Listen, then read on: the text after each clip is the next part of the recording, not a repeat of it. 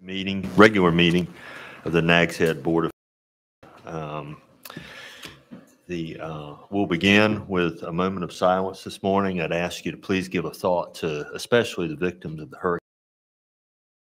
For the grace of God go we, um, and they're having a pretty rough time down there.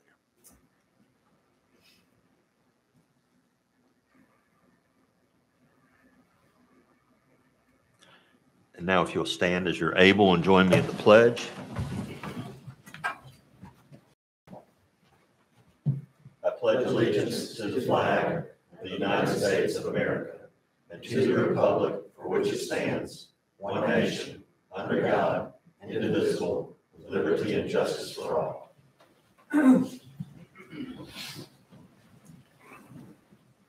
Thank you.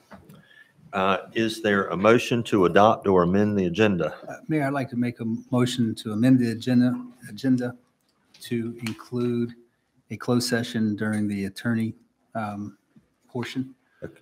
of the schedule to protect the client's uh, attorney privilege. Very good. Thank you. Is there a second? Second. Have a motion and a second. All in favor signify by saying aye. Aye. Opposed? Thank you. Uh, Then that brings us to uh, recognitions, and we'll start with uh, Chief Hale. Morning, Mr. Mayor and Commissioners. Good morning. Uh, It's my pleasure to come before you today to recognize Master Police Officer Daniel, Danny Harris for his five years of service with the town. Danny joined our agency in 2017 after spending five and a half years with the Dare County Sheriff's Department. Danny brought a great deal of knowledge, excuse me, and prides himself in continuing his training with our agency and is always looking for opportunities to further himself. Danny is highly motivated and is always willing to help other officers along with all other town staff when asked and called upon. In his free time, Danny enjoys uh, hunting, fishing, and most importantly, spending time camping with his fiancee Stephanie and his little girl Danielle. Danny, thank you for your five years of service.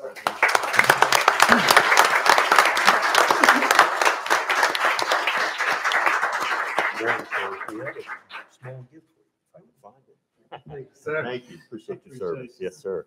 Thank you so much for your service. We appreciate it. Thank you. Thank you, Officer Harris. Appreciate it. Thank you for service.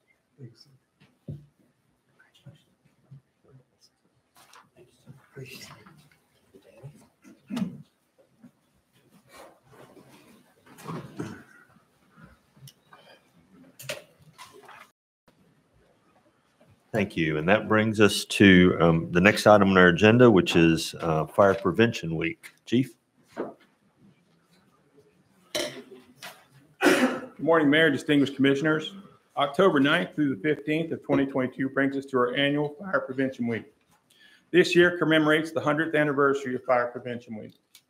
Fire Prevention Week was started back by the, in, by the National Fire Prote- uh, Protection Association in 1922 to commemorate the Great Chicago Fire, an event that lasted from October 10th uh, through the October 8th through the 10th, 1871. Fire destroyed 17,000 buildings and structures and took around 300 lives.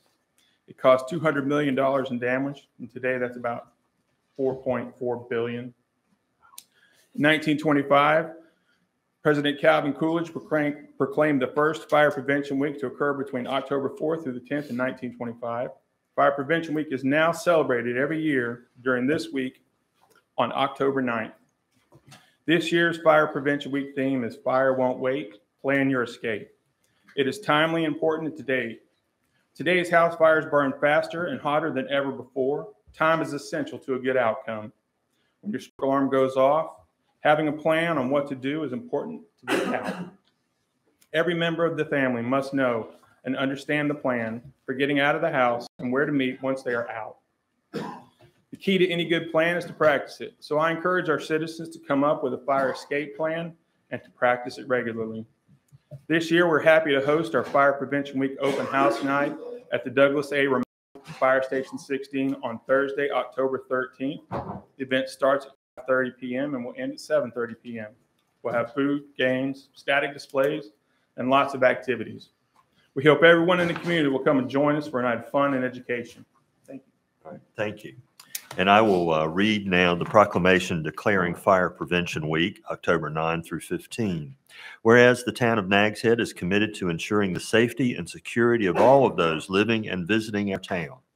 And whereas fire is a serious public safety concern both locally and nationally, and homes are locations where people are at greatest risk from fire. And whereas home fires caused 2,580 civilian deaths in the United States in 2020, according to the National Fire Protection Association, and fire departments in the United States responded to 356,500 home fires. And whereas smoke alarms sense smoke well before you can, alerting you to danger in the event of fire, in which you may have as little as two minutes to escape safely. And whereas working smoke alarms cut the risk of dying in reported home fires in half. And whereas residents should be sure everyone in the home understands the sounds of smoke alarms and knows how to respond. And whereas residents who have planned and practiced a home fire escape plan are more prepared and will therefore be more likely to survive a fire. And whereas residents should make sure their smoke and carbon monoxide alarms meet the needs of all their family members, including those with sensory or physical disabilities. And whereas the 2022 Fire Prevention Week theme, Fire Won't Wait, Plan Your Escape, effectively serves to remind us that it is important to have a home fire escape plan. Now therefore be it resolved that October 9 through 15, 2022 is Fire Prevention Week, and I urge all the people of the town of Nags Head to plan and practice a home fire escape for Fire Prevention Week 2022 and to support the public safety of the Nags Head Fire Department. All town residents and visitors are the annual Nags Head Fire Rescue Open House held at the Douglas A. Ramaui Fire Station 16 on Thursday, October 13th, 2022, from 5:30 to 7:30 PM, this being the fifth day of October. And a motion to adopt the proclamation would be in order. So moved. Second. I have a motion and a second. All those in favor signify by saying aye. Aye. Aye. Opposed? All right, thank you. That brings us to uh, public comment. And before uh, we go into public comment, Mr. Leidy, I have a couple of questions. Oh, I'm sorry. John, I blew right past you. My apologies.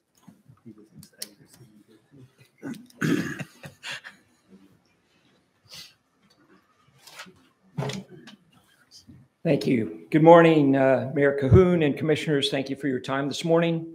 Uh, I'm John Harris, President of the Rogallo Foundation. Our board members are Susie Walters, Sandra Allen, G.W. Meadows, uh, Bruce Weaver, and Carol Rogallo Sparks. Some of them are present here today. Um, And this is Billy Vaughn, who's writing a book on the Rogallos. Um, we formed the Rogallo Foundation in 1992 uh, with one of the objectives being to build a museum to tell the story. Um, uh, the museum will tell the story of the invention of the Rogallo wing, which led to hang gliding, paragliding, sport parachuting, delta kites, stunt kites, and kiteboarding. Um, the museum will also tell the history of these air sports. As you know, the Rogallos owned a house in southern For many years and became res- permanent residents of Dare County um, after retiring from NASA in 1972. Talking to North Carolina State Parks about this project for over five years, it was derailed by COVID, uh, like so many other projects. Uh, in 2018, we worked with Jockeys Ridge State Park to select a site and architectural rendering for the museum concept. Uh, The foundation's proposal to North Carolina State Parks is if they'll give the foundation a long-term lease at no cost, then the foundation will raise the money to build the museum and operate the museum going forward. Um, It's about, uh, estimated about 12,000 square feet, so small museum. Um, Our our ballpark estimate of the cost is 7 million. Uh, We meet with North Carolina Parks October 20th to begin working on the lease. Um, We are asking for your support for this project. Um, And in the future, we would like to see a resolution um, supporting, supporting the project, the concept of the museum, and the long-term lease with North Carolina State Parks. Uh, We see this museum as an inspirational. The Rogallo story is very inspiring, as you're going to learn in a few here. Um, And we see the museum as an add of Nags Head to Jockey's Ridge State Park, to Dare County, and to the state of North Carolina. Thank you. So I'm going to do this fairly quickly. Uh, bear with me. Uh, so Francis and Gertrude Rogallo, if you didn't know, uh, invented the flexible wing in 1948. This invention was remarkable. It had no rigid structures whatsoever, no spars, no stiffeners, but it maintains its shape in flight like a and produces lift like a conventional rigid wing. This flexible wing evolved into all kinds of flying hang gliders and paragliders, weight shift ultralights, uh, sport aircraft, delta kites, stunt kites, modern parachutes, and most recently kiteboard kites, just another flexible wing. Uh, and these wings have allowed millions of people all over the world to enjoy flight in its most pure form. Uh, we're not advancing.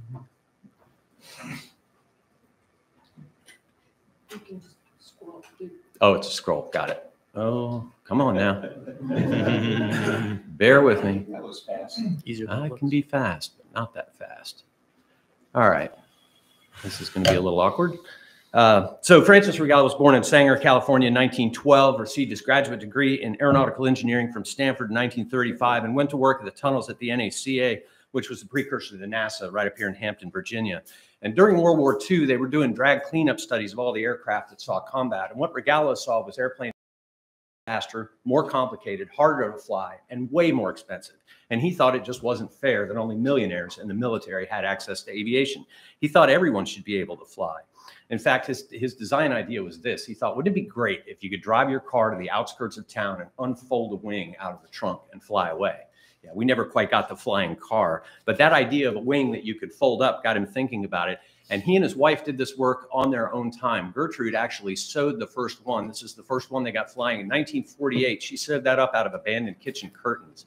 Uh, and like I said, they did this at home on their own time. He actually built a small wind tunnel in the house to test these things.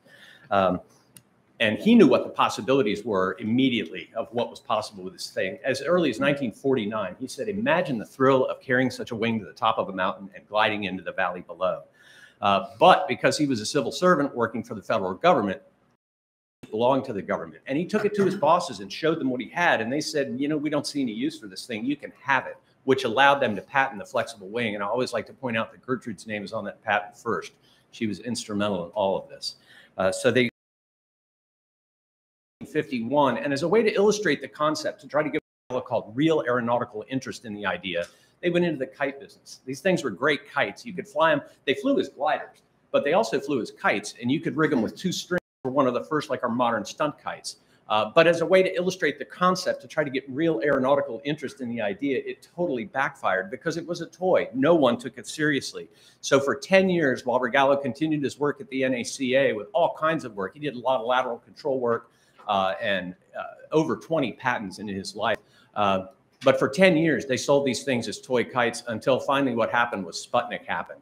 And anybody recognize this guy? It was actually Wernher von Braun. He's the famous rocket engineer. He came up from uh, the Alabama facility where he was working to Langley Field, and he happened to see Rogallo demonstrate one of these little gliders like he had a thousand times before. And what von Braun saw was the possibility of recovering rocket booster engines and radio control gliding them back to land.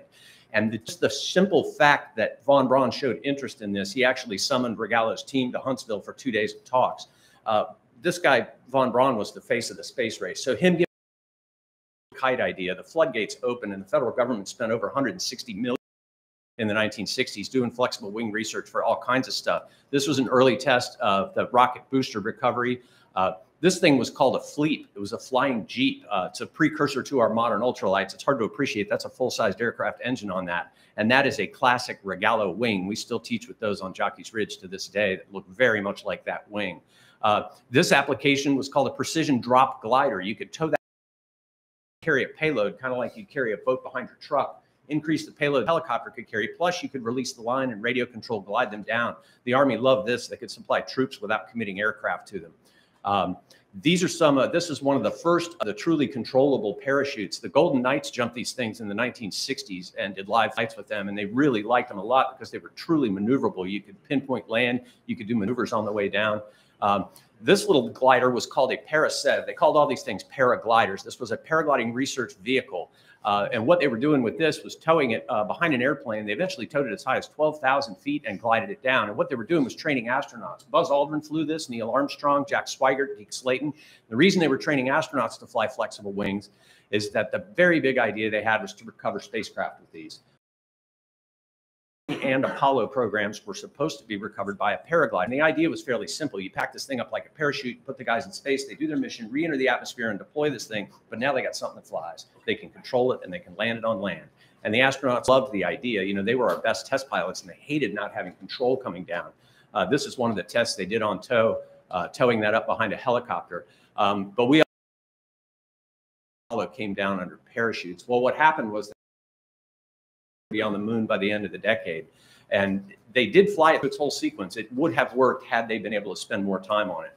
But the reason I'm telling the whole story is that pictures like this of the Fleep were in popular science and popular mechanics. And people all over the world saw these Rogallo wings and said, that's really simple. I could build one of those. And that's exactly comes from. Uh, some of the first guys were Australian water skiers in the early 60s. They were towing their flat kites behind their boats to get in the air. And they were getting in the air, but they weren't really flying. If the rope ever went slack, they would crash. But from a photograph of one of these, they built one out of banana plastic and conduit. And they're the guys that figured out to put a triangle underneath it and use weight shift to control them. So hang gliding as we practice it today owes a lot to the Australians. But hang gliding in the 70s, Jockey's Ridge in the early 70s, that is a bamboo and plastic Jockey's Ridge figured heavily in the early history of hang gliding, and Francis was well aware of this place. He had been traveling here before he moved here to use Jockey's Ridge as a natural wind laboratory. He actually called it that. This is some experiments they did with completely flexible paragliders in, uh, I believe that's 1967 or 68 on Jockey's Ridge. Uh, and when the park uh, was being formed, or the idea of the park was first hatched, where's my cursor? There we go. Uh, this is an early shot of Jockey's hang gliding meet, uh, the first national meet in 1973. We just had our 50th annual hang gliding spectacular. It's the longest continually held hang gliding competition in the world on Jockey Ridge. And you can see how many people there were there. Uh, but back to that park idea, uh, Francis Rogallo actually lobbied for there to be a wind research facility in the park because he called it a natural wind laboratory. That never panned out, but it's a great idea. Uh, modern hang gliders have evolved in sophisticated soaring aircraft. Uh, they're capable of flights measured in hours and altitudes. Uh, my personal bests are over 12 and a half thousand feet. I've gone 50 miles cross country and had a four and a half hour flight, and those numbers are small. So hang gliding has really evolved. Uh, this is another iteration. These are technically now light sport aircraft. We call them trikes, but uh, that's one of the more uh, affordable ways into personal aviation. Paragliders all come out of the same invention. Uh, paragliders are completely flexible wing like the original ones that Rogallo lobbied for. Uh, that's actually out on Jockey's Ridge. Delta kites, sport kites, stunt kites, traction kites, uh, modern parachutes, uh, and again, kiteboarding. And I would argue that this place on the Outer Banks, we see more iterations of flexible wings on a regular basis than any place else in the world. Uh, I can't I can't think of any place that's even close.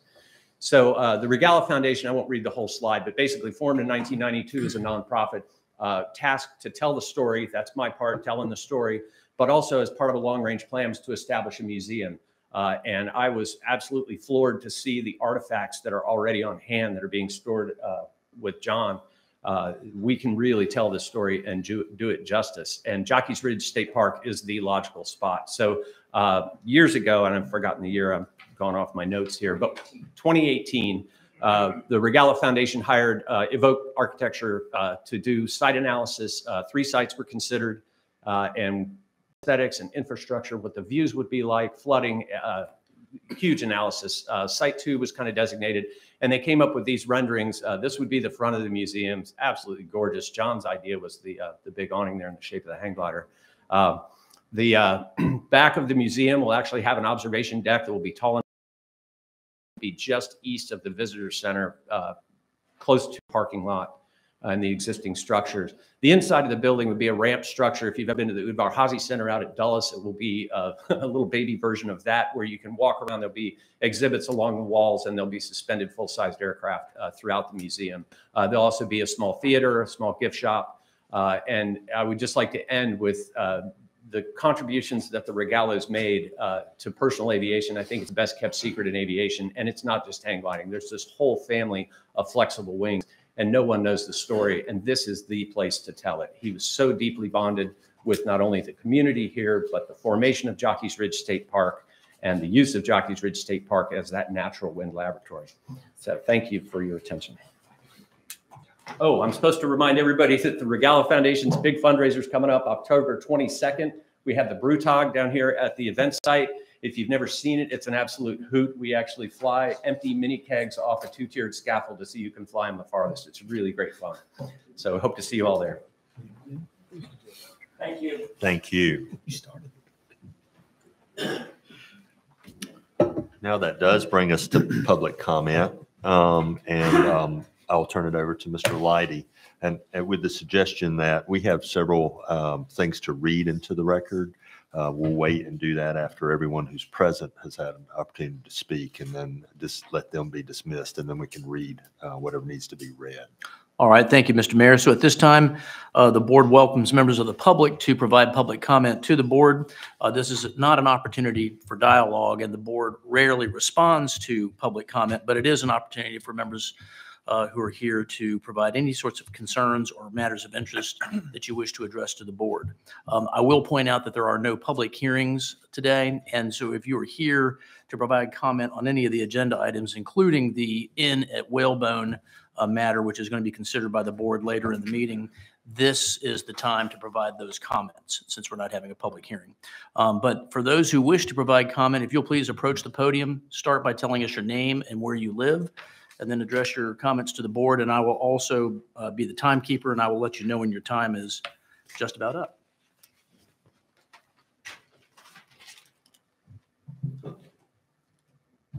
David Bragg, Nags Head. I lived in New Orleans. My life, wife lived in Portsmouth, and both of us seen what low income turns into. Starts out nice, and with a few years, it becomes an eyesore. We didn't retire here to make it just another typical city. More on this when it's on the agenda, but I do plan to further research it and speak about it more. The main reason for me attending today is the 90-room hotel, which I totally oppose. First, after reviewing the parking requirements, I believe there are 94 spaces required. Six for employees, seven, as I see it, for handicap spaces. Where are the EV charging stations? After all, everybody up there wants to have electric energy, so I'd like to see EV spaces in there because we don't have many around Nags. The way I look at, at it, it leaves 81 spaces. I haven't seen the design of the rooms, but if you have say two double beds or two queen beds in each room and people come down separately, that's two at least per room. Where are these uh, overflow parking people going to be parking? Don't have an answer to that, at least as I've seen it, because I don't have, I was not totally prepared for this because I was on vacation and came back late. Uh, the parking study or the, uh, the traffic study done in September. Yeah, right. Okay, let's talk about it do it in July. I've been to that gas station. I've sat at that corner for 10, 12 minutes before I could turn left to get back onto 158 to get home. Where's that study? People in that neighborhood are going to be sitting there for long term before they could get back or get out of their neighborhood. It's ridiculous to do a study about parking, about traffic in September. Do it in July, in August, when it's high season talking about runoff. I see where the runoff's going to go to the golf course, which already gets flooded, to the back of the neighborhood, which already gets flooded, to the road, which already gets flooded. It's ridiculous. I don't know who did the study, but it's wrong. I was going to uh, couple this with the low income housing that's going to be there. Did Dominion provide a study about grid usage? As I understand it, the government wants to go to wind and solar. By the way, wind is going to kill the fishing commercial fishing industry around here. So I vote no to that. What we also have to look at is we don't want to become California. I don't want rolling blackouts in my neighborhood. I don't want to have to live at 78 degrees in the summer and 62 degrees in the winter because our governor wants to have the Green New Deal in North Carolina. So we need to see what this, how these two projects will affect the grid.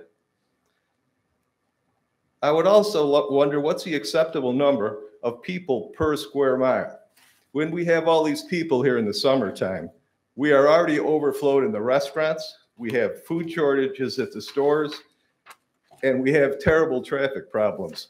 Where's the study on people per square mile in the summer and how it's going to affect the residents of Nags Head and the Outer Banks in general? The, for the reasons I cited abo- above, I believe this project should be stopped and the area in question should be used for another purpose, for the good of the citizens of Nags Head. Thank you. Thank you, sir.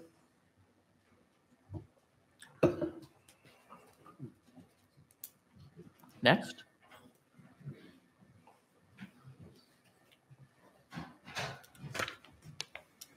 My name is Michael Bryan. I live in Nags Head. I'm here today as Chairman of the Board of Friends of Jockey's Ridge. Uh, What I want to do is read a letter that I wrote to, uh, we wrote to Brian Strong, Deputy Director, Planning and Natural Resources, Division of Parks Recreation, Raleigh, North Carolina, dated September 26, 2022.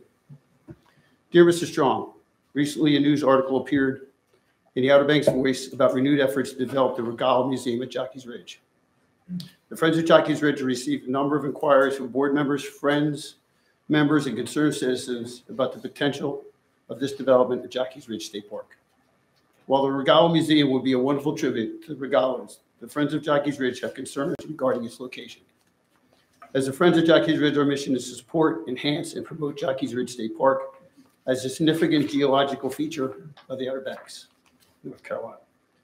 Does this project support, enhance, and promote Jockey's Ridge? Friends of Jockey's Ridge would like to learn more about this project, the timeline, impacts of Jockey's Ridge, and Friends of Jockey's Ridge, how we can get more information on the current status and how the project impacts this project. What the benefit of the museum of the park is, what is the impact to the park in terms of preservation? Is there a completed environmental impact assessment to address the building degradation, concerns of traffic, tree removal from maritime forest, impacts to wildlife and endangered species, and wind distribution intrusion? How will sand preservation be managed? And will this project affect the movement of the sand? Will this project lead to further commercial development? Based on the article and presentation of the Dare County Commissioners, we received numerous concerns that the lease agreement is imminent with the Rogallo Foundation. We've received concern messages about lack of transparency, lack of public input, and positive, negative environmental impacts. Is this agreement imminent? What is the process for this agreement? As a major contributor to the well-being of Jockey's Ridge State Park, we believe we should be a part of the conversation. And then I put my phone number and email. I want to thank you for your time. Sincerely, Mike O'Brien, Chairman of the Board of Friends of Jockey's Ridge. From a personal standpoint, my name is Michael Bryan. I live at 2820 Southwest Colony Drive, Nags Head. In 1973, Carolista Baum sat in front of a bulldozer. And I believe we are happy she did. I am. She stopped development at Jockey's Ridge, and we can all agree that was a good thing. I sell lumber for a living, so I'm not against development. Carolista was not against development, and we can all agree we made a good living here because of this development. But do we want commercial development in Jockey's Ridge State Park? I do not. And I would ask and urge the Nags Head Board of Commissioners to consider drafting a resolution against commercial development in Jockey's Ridge State Park. Thank you for your time. Thank you, Mr. O'Brien. Is there anybody else? Good morning, good morning. Um, Excuse me. Uh, My name is Carolista A. I live in Raleigh, North Carolina, but I do own property in Nags Head. And I asked permission to add my comments into the record. Marks. I am speaking against any development at Jockey's Ridge State Park as presented today through the museum request, and also speaking against development in the future. I am one of Carolista Baum's three children who ran home the summer of 1973 to report to her that there was a bulldozer taking sand off the back of the ridge. Carolista went back to the ridge, confronted the operator of the machine, and demanded that it be shut down. The bulldozer operator left, and mom removed the distributor cap And with that, began the movement to preserve Jockey's Ridge from development. The entire effort was to preserve Jockey's Ridge as a natural landmark forever. This request to lease park land and build on Jockey's Ridge, which is not only a North Carolina state park, but also carries a nat- national natural landmark designation, is 100% against why Jockey's Ridge was preserved in the first place. Dare County Commissioners passed a resolution at their September 6th meeting in support of construction in Nags Head on Jockey's Ridge State Park, but there was no notice to residents or stakeholders regarding this action. And with this second request before the town of Nags Head for a resolution in support, I ask that you consider a resolution whereby no future development happens at Jockey's Ridge other than the improvement and maintenance of the existing state facilities. Carolista and others raised money and organized the campaign Save Our Sand Dune. In addition to organizing people to preserve Jockey's Ridge, it was all in an effort to stop development on the ridge. The reason for preserving the dunes in 1973 needs to be reiterated again today, almost 50 years later. Jockey's Ridge was preserved to be a scenic and natural landmark for the people. If we don't remember this, then history will most certainly repeat itself. And this museum request will not be the only attempt in years to come to commercialize the dune. Children collected nickels and dimes. Volunteers spent countless hours collecting signatures, selling $5 square footage certificates, working tirelessly to raise not only money for awareness to save Jockey's Ridge, but residents and stakeholders alike work to preserve this natural geological resource. Their efforts were not in vain, as the state of North Carolina General Assembly appropriated funds to create Jockey's Ridge as a state park in 1975. We have an incredible natural landmark in Jockey's Ridge, which is the most visited state park in North Carolina. And quoting from the website of the Department of Natural and Cultural Resources, the primary goal of the Division of Parks and Recreation, especially the Natural Resources Program, is to ensure long-term protection of state parks as intact. The statement says it all. I'm asking you, Mr. Mayor and Commissioners, to be stewards of this landmark inside your jurisdiction and to uphold the mission statement of the Friends of Jockey's Ridge to support, enhance, and promote Jockey's Ridge State Park as a significant geological feature of the Outer Banks by declining this and future requests that dilute the purpose of the ridge. To that end, Commissioners, I ask that no development be considered at Jockey's Ridge. I ask that you preserve the ecological formation the environmental integrity, the wildlife habitats, the multiple plant species, and the maritime forests surrounding Jockey's Ridge by declining this project. Thank you for your time. Thank you. Thank you, Ms. Baum. Yes, sir.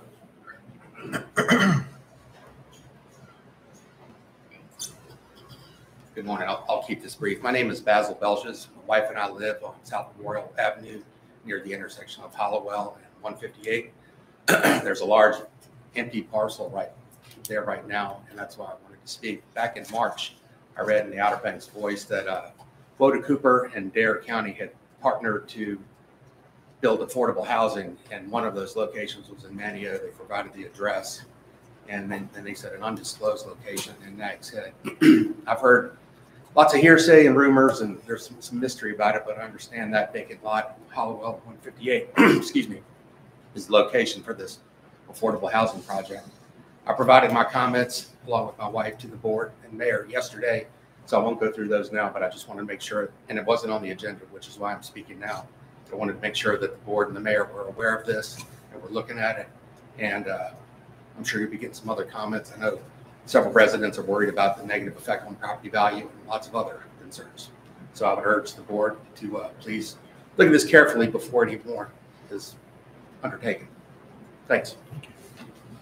Thank you, sir. All right, does anybody else wish to address the board? Yes, Mr. White.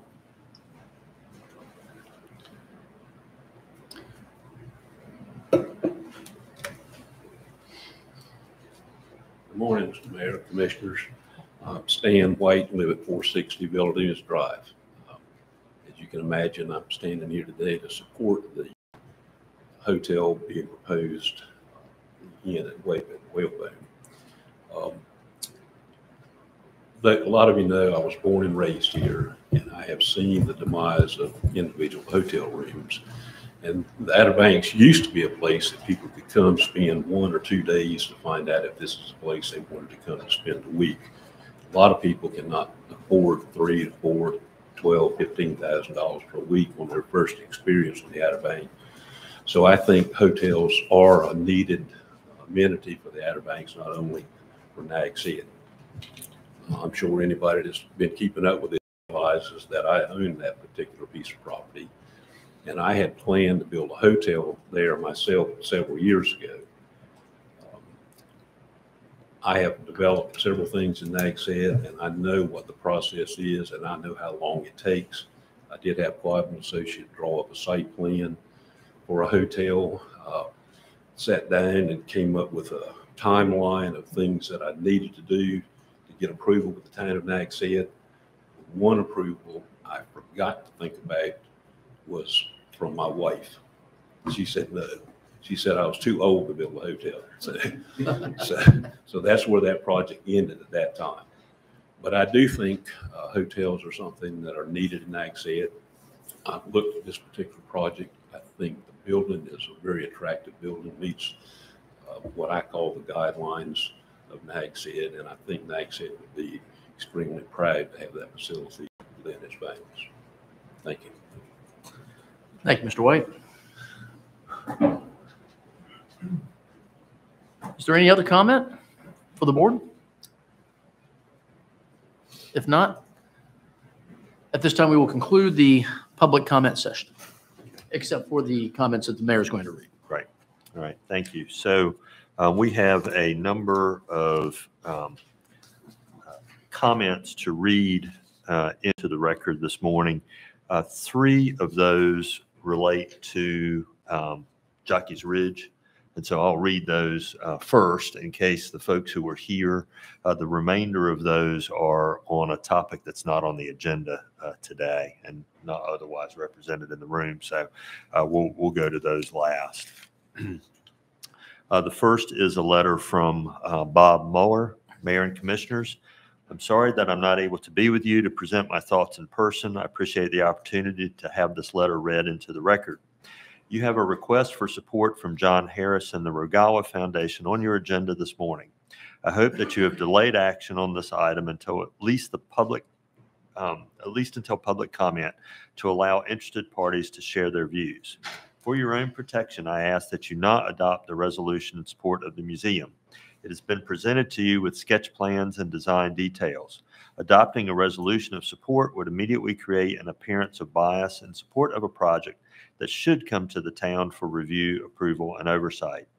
Further, even if the town wants to take a position on the museum, it is quite premature. There are many questions about building and operating the museum inside a state natural area that should be answered before the town adopts an official position about the proposed museum if such a position is deemed appropriate. Those questions include, but are not limited to, one, is the proposed use consistent with the mission of the park? Two, is the proposed use consistent with the park's designation as a na- national natural landmark and the terms of its acquisition using state funds and funds from the United States Bureau of Outdoor Recreation? Will the museum be operated by the state or the Rogallo Foundation? If the latter, what precedent is there for the private use of state park land for use not essentially related to the park and where a location within the park is not essential to its operation? Is the museum a commercial concession? If so, It is essential that the concession be constructed in the park with the associated uh, destruction of the natural resource for the concession to operate. That is a question. Could it be operated equally well outside the park? If it could operate outside the park, then why is it necessary that it be in the park? If the museum is a commercial concession, will there be a public bid process for the construction and operation of a museum in the park? This would occur with any other public concession. If the museum is not a commercial concession, then what role does it play in the park? Is a location in the park essential for the museum to meet its mission? If the museum is built, who will own the museum structure and displays? If the museum is built, what guarantees that the foundation will be able to operate and maintain the museum and that the museum will not become a burden on the state? Will an environmental impact statement be prepared before permits are issued? What public input will be solicited before permits are issued? Will the museum be subject to town zoning and other town rules and regulations as would any other private museum constructed on private property? If not, what justifies the exemption beyond the location of the museum inside the park? Look behind you. The town seal shows Jockey's Ridge. It is essential to the identity of the town as much so as our beaches and maritime forest. Jockey's Ridge was purchased with state and federal funds, yes, but also with the pennies, nickels, and dimes of thousands of North Carolina school children. Coins co- collected to preserve an amazing, amazing natural resource, not to provide land for a private museum. Personally, I do not believe that a museum to Francis Rogallo, while an admirable objective, needs to be located within Jockey's Ridge State Park. Personally, I believe such a facility could be constructed on private land. I ask that you thoroughly investigate this proposal before you take any action regarding the museum. I ask that you immediately contact state parks and discuss with state parks their view of the appropriateness of the proposed development and to what extent the museum will comply with town rules and regulations. Thank you for your consideration and your service to the community.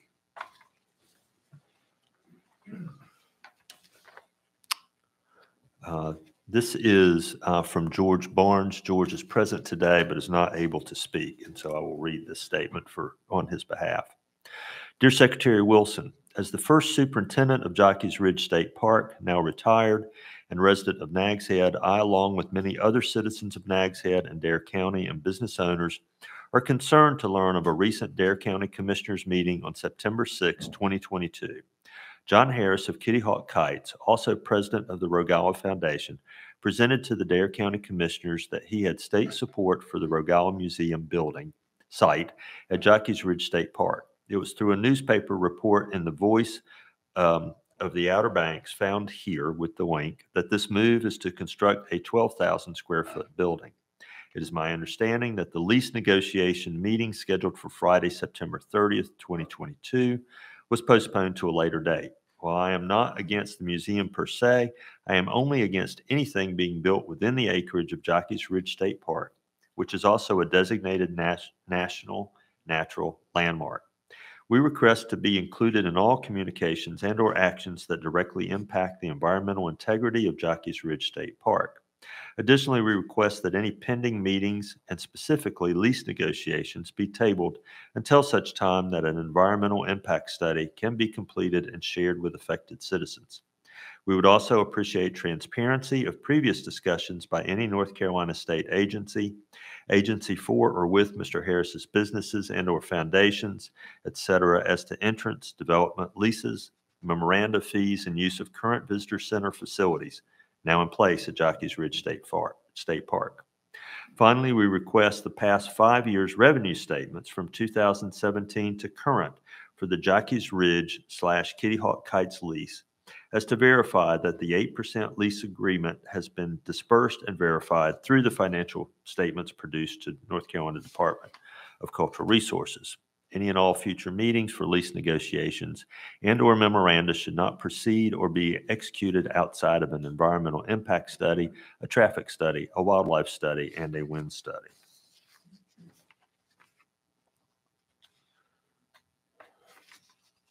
And the third and final letter, I'm sorry, that is a second copy of the, the same statement. Um, So I am not aware that I have any other um, uh, statements to read on either the hotel or the Jockey's Ridge State Park. All right.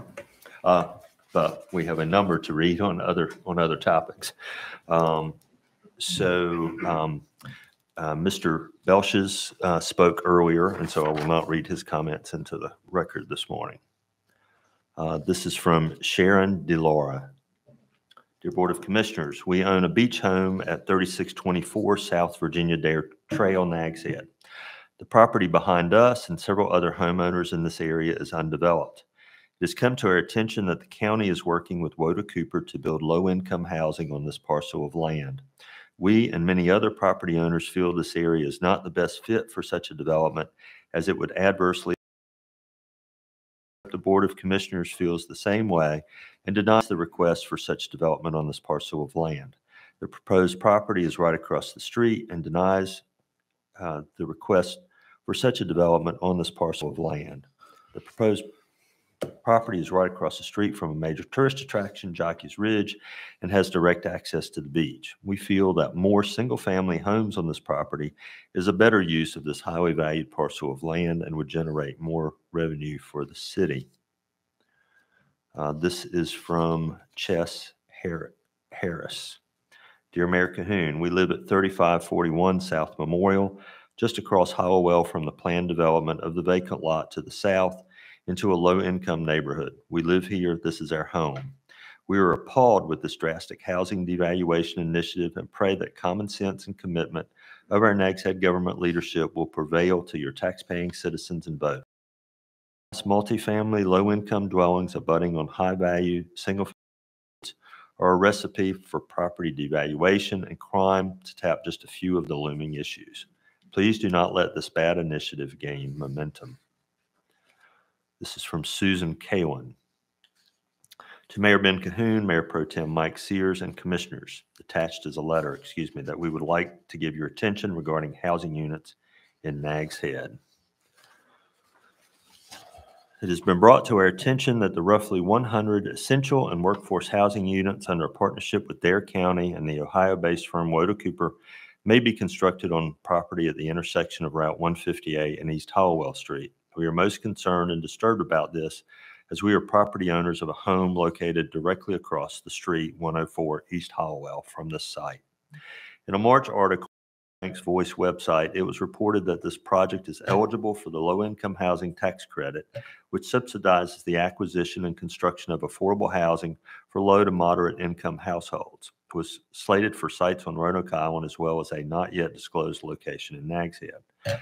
While we realize there's a need for affordable housing to maintain a workforce in the Outer Banks, we are opposed to its location at Route 158 and East Hollowell Street. We feel we have been kept in the dark as to what this undisclosed Nags Head location would be. First off, this location is very near the entrance of Jockey's Ridge and possibly one of the most major attractions on the Outer Banks. Make a right turn on Carolista from Route 158 south and you enter this national landmark. Make a left turn on East Hollowell Street from Route 158 South and you enter Old Nags Head Place and a neighborhood that is comprised of full-time residents and non-resident property owners who very much value and maintain a respectful quality of life that is most attractive and desirable to renters. We know because we are non-resident property owners who rent our home during June, July, and August to returning families who know that when they put their hard-earned monies down on a summer home to spend quality time with their own families, they can rest assured that they will enjoy peace and relaxation. They can enjoy the hot tub and in-ground pool, walk to the nearby beach access, which has a lifeguard, walk across to Jockey's Ridge, and even enjoy a walk around the corner to Snowbirds for some cooling desserts. East Hollowell Street is busy enough. We see the heavy traffic that crosses from the beach road to Route 158 during the summer months. We see the many golf carts and bicycles, not to mention families walking with baby carriages or leashed, leashed dogs that frequent the street. Even though there are stop signs at both ends of the street and South Memorial Avenue entering Hollowell Street, there have been many, many cars and trucks that do not heed these signs. Add to this more roadways entering another housing area and more traffic to what is a desirable neighborhood, and you're looking for potential accidents and crime scenes. Yes, we rent during the summer months, but we also enjoy a family week during that time, so we witness firsthand a heavy traffic load. And yes, when our rental season ends, we as homeowners love to enjoy our home the rest of the year and with family on major holidays. We made major improvements indoors and outdoors to our home. When we're not there, we like to think our property is safe and that our vendors can work undisturbed. We've heard that the town likes to keep outdoor lights low or not at all. As a homeowner, we like to keep a light on under the carport when we are not there. There was a time when we had a spotlight near the roof of our home directed to the ground pool area, but we were notified the town that it looked like a helicopter could land there in the night, so we changed its direction. So imagine the lighting that would have to go in this housing area across the street and have it shining on our facing yard and windows when we were told that we had too much light in the night.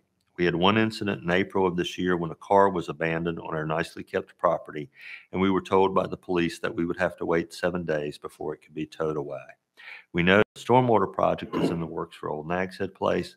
That's another issue that we're facing. Just know that we as property owners are in the direct path of this housing project, and we are opposed to the location. Um, And I'm going to take a break and let uh, the town manager read some of these. If you are interested in leaving, it will not be rude for you to, if you're, if the issue you're concerned about has been addressed, you are welcome to leave at this time. Andy? Thank you, Mayor. Uh, This letter was uh, sent to us from Alan R. and Judy C. Turner. Dear Mayor, Mr. Garman, and Town of Nags Head Board of Commissioners, our names are Alan R. Turner and Judy C. Turner. We own the property at 3610 South Virginia Dare Trail in Nags Head. We are writing as concerned property owners to voice our opposition to the proposed affordable multifamily housing development site at 100 East Hollowell Avenue, Lot 3351 through Lot 369, and Part 41 in the George T. Stronach subdivision.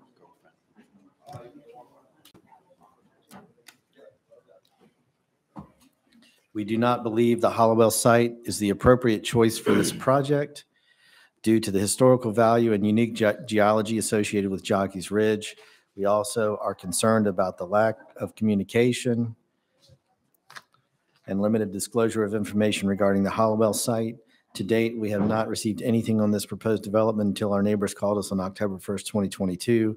They shared with us what was going on and that the selected site was the property directly behind ours. I want the town of Nags Head to understand that my husband and I do not have this property just for rental. We rent so we can afford this property in hopes that we'll be able to retire there someday. And we have put a great deal of retirement funds into this property. While the George T. Stronach subdivision, we will be lucky to get what we paid for our house before we did all the upgrades as it will great, greatly diminish property values in this area. I'm asking that you reconsider this proposal and think of the taxes and income this area brings to the town of Nags Head. I also understand that you need housing and that the town is going to receive a huge amount of money for agreeing to this proposal. I only ask that as good business people, you reconsider the area that you are planning this development. You're in the heart of your beautiful town. If not properly maintained, you will lose your number one commodity, your tourist season this summer. Best regards, Alan R. and Judy C. Turner. This letter is from Jeff and Pat Pavlak. Uh, was sent to uh, me and also the Board of Commissioners. Good morning, Andy. My wife Pat and I are homeowners at 3616 South Virginia Dare Trail, Nags Head. It's come to our attention that there's a high-density housing project being proposed at the Howell Street site adjacent to our property. We want to go on record that we are opposed to this proposed project. We please find the attached letter of opposition to the proposed project stating our concerns. Uh, Here's the letter uh, to Andy Garman, Town of Nags Head Town Manager, and members of the Board of Commissioners. We are sending this letter to strongly oppose the HUD housing project referred to as the Nags Head site along US 158 between Hollowell and Conk Streets as it is now proposed. We strongly recommend to rezone this 4.7 acre parcel from high density population to low density population as the original intended use for 16 individual family homes. This is consistent with the Town of Nags Head Land Use Plan dated June 2017. We recently found out about this project that would be adjacent to our property when we saw a surveyor on our property taking measurements in early September. As we have investigated further, we now know this is a proposed HUD housing project to include three brick, three-story buildings totaling 54 units that would be comprised of 10 one-bedroom, three two-bedroom, and six three-bedroom units, and an external area for picnic tables, benches, grills, and parking for the extensive number of cars that would be needed. While we understand the need for housing and essential workers, we strongly disagree that this will help the town of Nags Head, given the low income requirements to qualify for this housing. There's a disconnect between what salaries of essential workers in Nags Head receive versus the maximum income requirement of this housing. Additionally, as homeowners, we have concerns that we would like to be addressed at future board meetings. What will the impact of stormwater runoff and sewage treatment be? How is the proposed plan consistent with the current character and vision of the Nags Head Land Use Plan Goals I 3.1, which reference preserving our community's distinctive heritage and unique lifestyle by having a relaxed paced family beach community comprised of primarily low-density development and open spaces? How will light and noise pollution be addressed for impact to adjacent homeowners? What will the oversight be to ensure renters are not subletting to charge higher seasonal rates? What is the oversight to ensure the property is maintained once renters qualify to live there? When we purchased our home at 3616 South Virginia Dare Trail in 2012, the primary thing that drew us was the residential historic feel of, of a family community in a low density area. We knew then that Nags Head was something special and uniquely different from any other towns nearby due to the low density and uncrowded roads and beach. We appreciated our views of Jockey's Ridge State Park and the quiet nights spent on our back deck watching sunsets. We've sa- saved up for many years to purchase this home with the goal of spending many happy years of our retirement here. We do not believe this Woda Cooper project would solve the problem of affordable housing for essential workers in Nags Head, and it is directly opposed to the intended use of this land as stated above. We request that this letter be read and entered to the public record concerning the housing project in Nags Head. As homeowners and taxpayers, we appreciate the opportunity to have our voice heard and look forward to having these concerns addressed. Sincerely, Jeff and Pat Pavlak, 3616 South Virginia Trail, Nags Head. Dear Mayor, Town Manager, and Board of Commissioners, my name is Nadine Johnson, and my husband and I own the property located at 3612 South Virginia Trail in Nags Head. It's come to our attention within the past week that the property adjoining ours is being considered as a potential site for an affordable housing development. Attached, please find our letter of opposition and concerned. Please acknowledge receipt of this letter that it will be read and entered into the public record for this project. We would like for our concerns to be discussed slash considered at the fut- at future board and town meetings. Thanks for your consideration, Nadine and David Johnson. Dear Mayor, Mr. Garman, and Town of Board of Town of Nags Head Board of Commissioners, my name is Nadine Johnson. My husband and I run are the property owners of 3612 South Virginia Dare Trail in Nags Head. While we are writing as concerned property owners to voice our strong opposition to the proposed new affordable multifamily housing development site at 100 East Hollowell Avenue, Lot 351 to 369 in Part 41 in the George T. Stronach subdivision. While we understand and appreciate the need for affordable housing at the Outer Banks, we do not believe the Hollowell site is the appropriate choice for this project. The decision to compromise compromise the area's historical value and unique geology associated with Jockey's Ridge shouldn't be made lightly. We are concerned about the lack of communication and limited disclosure of information to date regarding the Hollowell site approved in the very short term. It seems this has been and it's alarming to think that the plans may have been purposefully kept vague and disclosed to avoid opposition. Below is a list of our initial comments and concerns environmental and tourism impacts. We are very concerned about the stress a new development will create on the environment due to the modifications that would be required to support traffic, parking, drainage, septic, waste disposal, the electrical and telecommunication grids, et cetera. Not to mention the prolonged disruption and inconveniences the area will suffer while potential development occurs. We do not believe that this site, even with modifications, can effectively accommodate the strain. The proposed site is directly across from Jockey's Ridge, the largest living sand dune on the eastern seaboard. This historic state park is a national landmark and is already at risk and fragile. Over the years, the sand dunes have been diminishing, and we are highly concerned that development and oversaturating the population in this area could potential, potentially stress the integrity of the dunes further.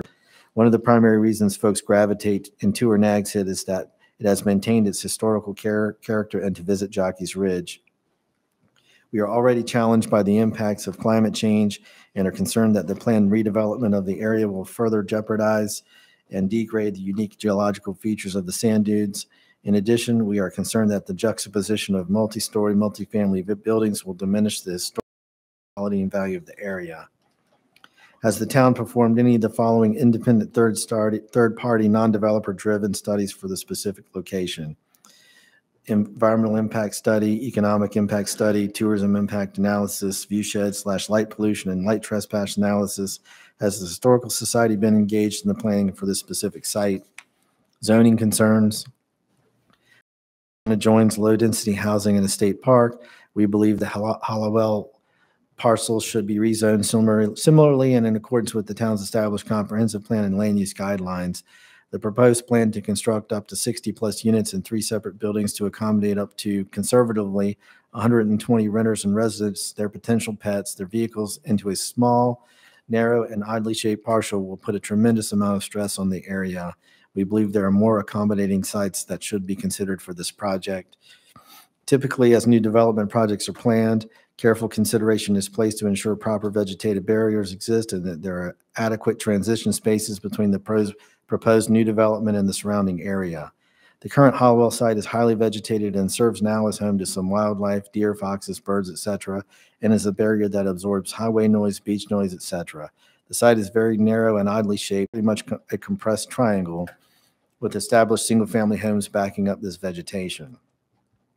We are concerned that once this vegetated barrier is destroyed, there is no, no realistic way to offset the destruction, and there is no realistic way to ensure proper transi- transition space is provided due to the size and scale of the proposed project. Historically, our town has been strongly opposed to the development of many hotels.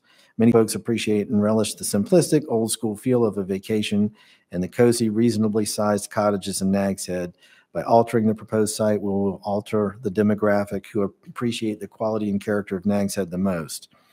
Although we have not seen the actual drawings or plans for the proposed affordable housing project, by any other name, the units should be considered glorified mini hotels. Short and long-term regulatory fraud and abuse concerns. We are highly concerned that the property will not be properly regulated, managed, and maintained in both the short and long term. We are also concerned that the planned site will be especially vulnerable to the high levels of fraud and abuse given its prime location, which will negatively impact surrounding homeowners and taxpayers indefinitely. There are plenty of available alternatives. We firmly believe that there are other available options that are better suited for this development project that should be diligently pursued and explored. Based on internet searches, there appears to be a good bit of available land that would support a development of this size and scope. Can the town please disclose what other options were considered for this program? Thank you again for your consideration of our concerns. Please Please confirm receipt and acknowledge that our letter will be read in, in its entirety and entered into public record for this project. Thank you, Nadine and David Johnson. Do a few more. I have a few more. Uh, This is from Kimberly Worley. Uh, Dear Mayor and Commissioners, I understand that a vacant property that borders Hollowell and Route 158 is being considered as part of the Dare County Woda Cooper project for affordable housing. And as a homeowner of 3523 South Memorial Avenue, I'm contacting you to let you know that I object to this use and hope you will vote against it. I purchased my home in 2019 as a rental property until retirement. While I understand the need for affordable housing, this use just doesn't seem to fit in with the feeling or charm of the neighborhood, which was my reasoning for purchasing an old Nags Head. My concerns are the extra traffic it will cause, the overcrowding of the beach access paths, and the value of the homes decreasing. There must be a more suitable location for this project. Please reach out if there are any questions. Brenda and Albert Metley. We have discovered that Nags Head is considering an affordable housing project immediately behind our property, 3618 hmm. South Virginia Dare Trail. Attached, please find our letter of opposition to this location. We trust that our letter will be entered into the public record and discussed at future town meetings. Mayor and Mr. Garman, Ta- Town of Nags Head Board of Commissioners. It has come to our attention that the town of Nags Head intends to build an affordable housing complex immediately behind our property at 3618 South Virginia Dare Trail. We are writing this letter to express our opposition to this location. We are well aware that housing is needed for additional workers in the Outer Banks. Your location for this site, across the street from Jockey's Ridge State Park, is a very expensive proposition for Nags Head taxpayers. There's an abundance of land available in Dare County. Why build this in a resort area adjacent to a state park? We are also concerned that location of the site was never mentioned by the Dare County Commissioners in their meeting to approve the project. They only mentioned the Nags Head site, but not a specific location. There's been zero transparency regarding this location in Nags Head. In researching the firm that is involved in the management of this project, Woda Cooper, I find essentially a two-star rating. Has anyone researched this company to determine its viability? This being a HUD project, how can you assure that only Dare County workers will be housed at this location? It was our assumption that Nags Head opposed many hotels and mega mansions to preserve family vacation environment. This location of the project flies in the face of that concept. Is this, did you read? These are the same comments. Did you read this earlier? I don't think I read that Okay. We strongly recommend to rezone this parcel of land to a lower density population, as was the original intended use for individual family homes. This is consistent with the Town of Nags Head Land Use Plan dated 2017. We request that this letter be read and entered into the public record concerning this HUD housing project. As a taxpayer, we look forward to having your concerns addressed regarding this issue. And that is the last one. I have one more. Okay. Not so fast. Sorry. Dear Mr. Garman, we are property owners in Nags Head. We recently found out about the proposed HUD project for the lot behind our home. Please share our attached letter with the Board of Commissioners and the mayor. We would like it read into public record in opposition of this project. We greatly appreciate your time and consideration. Sincerely, Kathy and Kevin DiPolito, 3614 South Virginia Dare Trail. Dear Township Manager, Mayor, and members of the Board of Commissioners, please let this letter serve as our strong opposition to the development along US 158 between Hollowell and Conk Streets as currently, as it's currently proposed. We strongly recommend that this parcel be rezoned to low-density residential in keeping with the vision, focus, and land use plans for Nags Head, especially the historical character area that it is located in, as per the June 2017 Comprehensive Plan. Although we agree there is a need for affordable housing for essential workers, this project is in direct conflict with the very best interests of nearby property owners, the township's comprehensive plan, and Dare County's essential workforce housing efforts. Please find, find below some of our concerns regarding the housing project. As stated within section 2.32A Historic Character Development Plan of the 2017 Nags Head Comprehensive Plan, table 2.3.2A, appropriate land uses in the historic character area. This area where this proposed project is proposed is reserved for, among other things, single-family dwellings not exceeding 5,000 square feet. Large multi-residential structures are not a recommended approved listed use for this district. Additionally, it's stated throughout the Nags Head uh, Comprehensive Plan that Jockey's Ridge has been designated as a unique coastal geologic formation area of environmental concern, AEC. It is a national nat- or natural landmark of the U.S. interior. The NHCP states that minimal development is paramount. Promote low-density residential development and residential uses in a manner that protects and preserve natural topography and vegetation, and to protect the bordering lands, bordering lands from intense development to maintain scenic and environmental qualities. Again, this proposing housing, this proposed housing plan is not in compliance with the Nags Head Comprehensive Plan. It is well known that Dare County owns lots throughout the county. Why was this particular lot chosen, especially considering it does not comply with the aforementioned comprehensive plan? We strongly recommend the zoning, the zoning for this parcel be rezoned to accommodate low-density residential. This would align for the vision and land use for the historical character area as detailed in the Nags Head Comprehensive Plan. There has been no presentation of a site plan or elevation images for the community to review. Without presentation of a site plan, neighboring property owners do not have the benefit of being able to, uh, to do a risk-benefit analysis. For ex- for example, it is well-known best practice of the fire service to establish a collapse zone 1.5 times the overall height of the building on all sides. Without being afforded the opportunity to review a proposed site, neighboring property owners are unaware of how this project may jeopardize their property. Lighting analysis has been conducted to show how exterior lighting will affect neighboring environment. As of this time, there have been no information provided regarding stormwater management for the property. What will impact on wildlife and the environment, Jockey's Ridge, schools, the healthcare system, emergency services, and traffic? One of the most dire employee shortages is the healthcare system. As of this letter, there are currently 49 job openings at the Outer Banks Hospital. Based on the hourly wage of these positions and the requirements set forth by Woda Cooper slash HUD, it is highly unlikely that people qualified for these full-time positions would be eligible for housing at this location. The same holds true for jobs that the town of Nags Head currently has open. The police officers make 50,000. Maintenance workers make between 30 and 50,000. This is not solving the essential worker housing needs.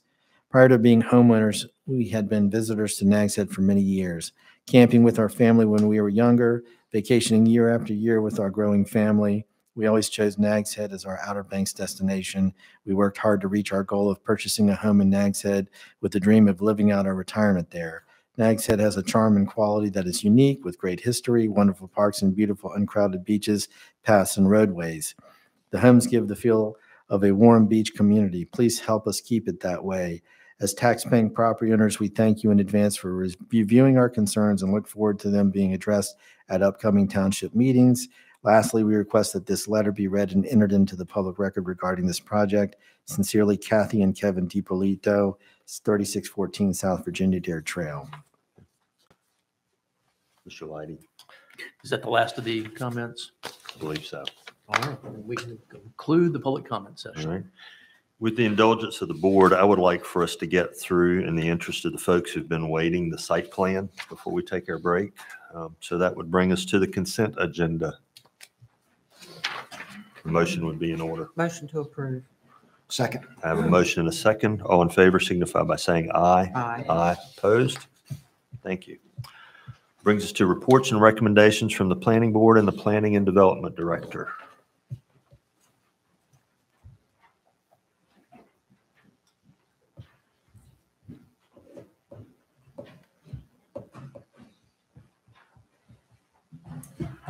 Good morning, Mayor and Morning. Commissioners. Um, Would you prefer that I go ahead and move forward to the Whalebone um, site plan or go ahead with the director? Uh, Your report is not that long, I don't think. a- thank you. Um,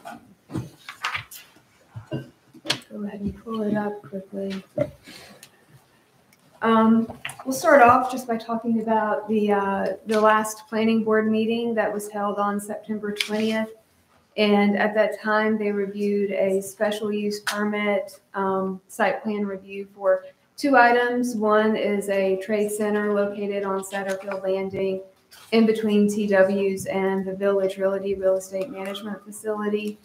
Um, The other item that they reviewed was um, various public works facilities associated with the um, Public Works Facilities Master Plan.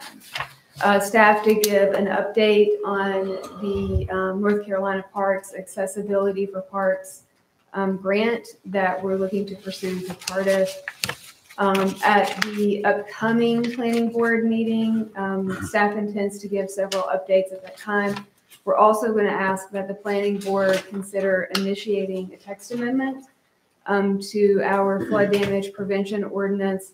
It requires engineer drawings and V-zone certifications for any work um, east of NC 12, including replacing a set of stairs.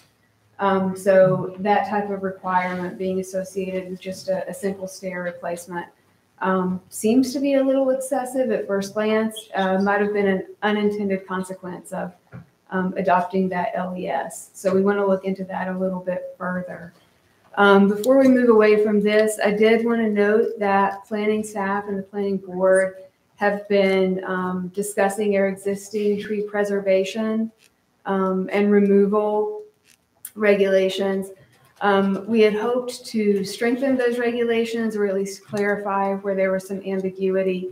Um, But before we get too far down that path, I wanted to bring it up to the Board of Commissioners um, to get any feedback or direction that you may have in terms of how we move forward with that.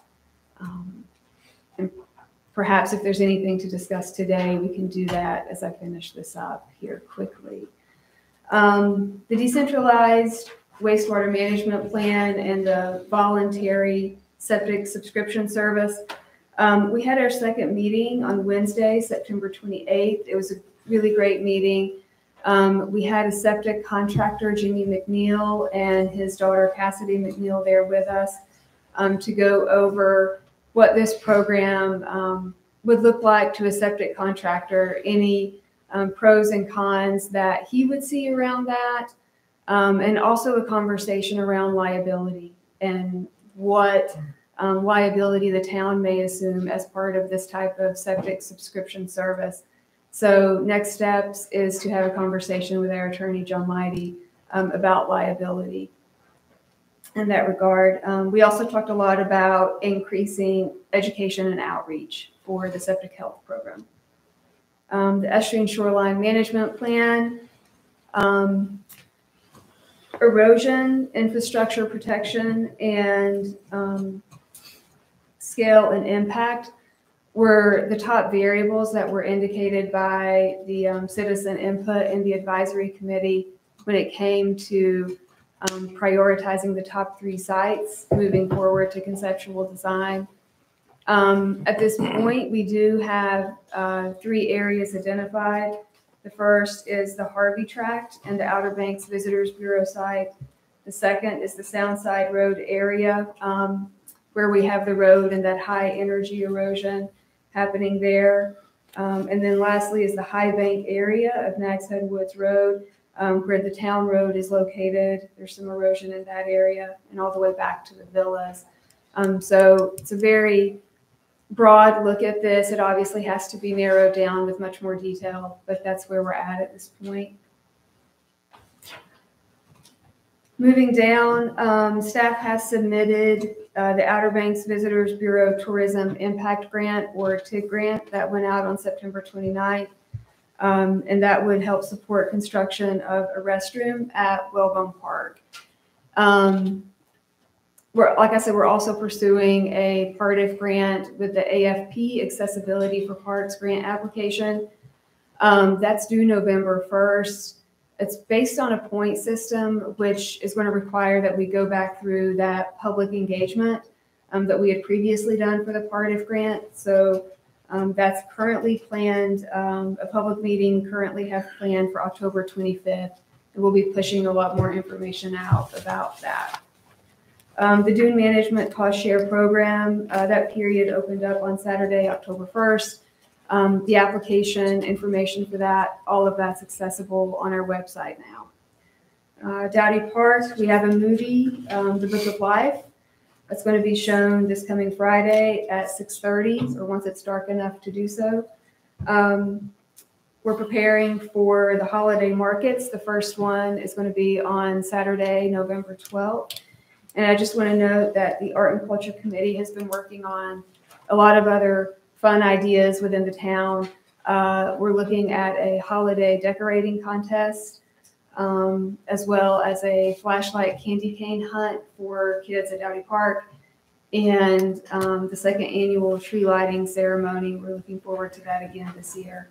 And um, lastly, the Committee for Art and Culture is actively working on phase two of the Art Mask project. So we're uh, talking about the uh, various local artists that we would like to reach out to to um, participate in that program and get three to four more masks out on the beach road by spring. Kelly, can I ask a quick question? Sure. The uh, holiday markets, it says that the applications go live on the 13th of October, Yes. and the first market is November 12th. Do you know what date those applications are due? So they're first come, first serve. Um, you will go online and there's going to be four markets. You fill out your application, you indicate the market that, because not everybody will want to attend all four. Um, so like I said, it's first come, first serve. It's usually done within a couple of hours of opening on, on that day. I, I I asked that question, Commissioner Cahoon had noticed in the last month's minutes that there was a, a mistake with the date there, so the October 13th Okay. clarifies. Thank you. Thank you. I apologize. I'll go and check that. That's all I have, um, as far as the report. Um, ma'am, Yes, of course. on the tree, since I brought up the trees, I'd like to see some special emphasis on the town's live oak designation. And the reason I brought it up initially was because people were butchering live oaks just for a view shed in the villas. Um, That, to me, was just not acceptable. They should have talked to the town because we do have special designation, not supposed to just be butchering the trees. Um, Some of the things that they're considering, I had a concern about, I think Commissioner Brinkley did too. um, Like the twenty-five percent canopy Canopy, mhm. and the Yes. I'm not sure the staff is prepared or the town is prepared to keep up with the tree bank per se. Much as I like the idea, I don't think they're prepared to do that. But Just to try to strengthen our ordinance just a little bit to preserve vegetation, not just take it away. That's great. We'll move forward with that. Thank you. Anyone else? just, she said it for me, but I appreciate that. And what Commissioner Cahoon said about what happened in the villas, totally wrong. That's, my concerns were just uh, E and H under 26.9, the tree bank, and then the 25% canopy. I think both of them would be very hard to manage. But thank you for your work on that. Absolutely. Thank you. All right, thank you. That brings us then to consideration of a site plan submitted by House Engineering for construction of a four-story, 90-unit hotel. We will have a changing of the guard in terms of attorneys. Good morning. Good morning, welcome. Thank you. It's always a pleasure to be here. Great. And, and before Kelly got started, I didn't know if you, the board wanted me just to briefly review what your, the, the procedure for what you're reviewing today, what your options are, and, um, Yes, Okay. please. Um, so just briefly, this is a, um, site plan approval. It's not quasi judicial, um, which is a little bit different. You guys are, uh, very well experienced in quasi judicial legislative decisions. This is a legislative decision. Um, it's pursuant to Article Four of the Uniform, um, Development Ordinance, uh, for the town. And upon review, and there's a preliminary review by technical review committee, staff, planning board, um, and Kelly will cover all those things. But ultimately, after um, the presentation today, the board will have to, um, one, either approve the application, approve the application with conditions acceptable to the applicant, deny- or deny the application. Uh, You can table to continue consideration um, under certain circumstances. Um, or you can uh, vote to return the application to the planning board for additional review for things that you think um, need to be further reviewed or uh, further provided. Um, So those are your, the general options that you have moving forward today.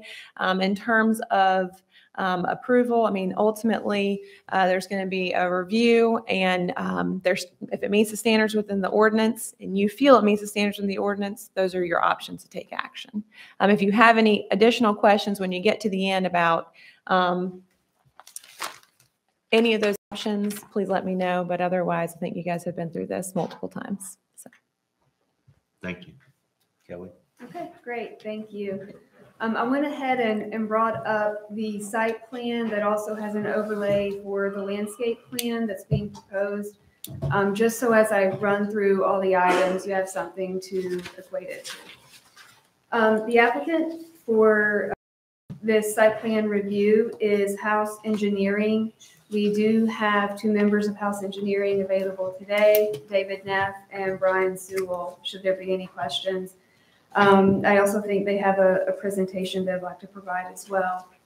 Uh, the request is for construction of a four-story, ninety-unit hotel along with all the necessary site improvements to West Pheasant Avenue. Property is currently vacant. It is located within the Village at Nags Head Hotel District, um, and it is also located in the Hotel Overlay District. As far as the zoning classification for the adjoining properties, um, the most notable here is going to be that the properties to the west, uh, this is Roanoke Shores subdivision. It's um, zoned residentially. It's zoned R3 increased buffer yard requirement here. Um, then a X flood zone, but our local elevation standard here is nine feet. And they're proposing a first floor elevation at 9.1, so there's compliance with that. Um, the land use plan has this property located within the general commercial district. Um, and so we do find that the proposal is consistent with that designation. Um, as Attorney Wumble has already noted, this is a permitted use. Um, I would also like to say that Section 9.1 to 4.5 of the UDO. Um, it states that in cases where the standards um, of this section are in conflict with the standards contained in Article 10, the commercial design standards, the more restrictive standards should apply. So as we go through all the standards, um, I'll let you know if there's a more restrictive standard that we're going to apply um, over what would normally be um, required in the overlay district. Um, lot coverage here, um, it's broken up um, into different maximums. So for a hotel between 49 feet and 60 feet, the maximum building coverage cannot exceed 35% of the lot area. Parking coverage cannot exceed 45% of the lot area, and they need to have a minimum of 20% of the lot area landscaped. Um, the proposed building coverage is at 12.9. The proposed parking coverage is at 36.18, and they have about 28.2% of landscaped area. So we do find compliance in this um, in this area as well.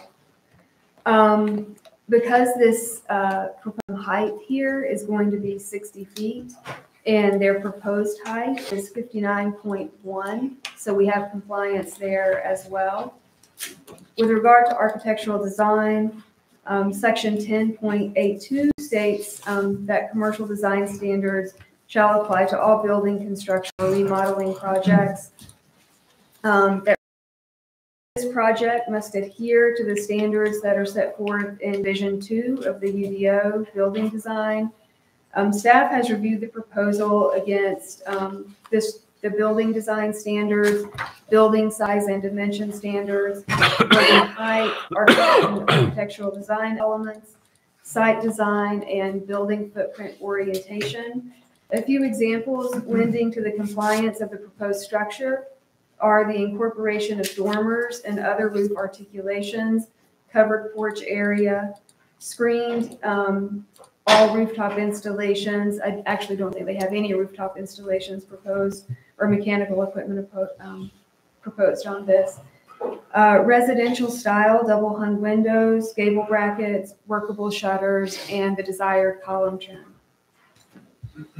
With regard to parking, uh, the required parking for hotel states that it shall provide parking at one parking space for each hotel unit without kitchen facilities.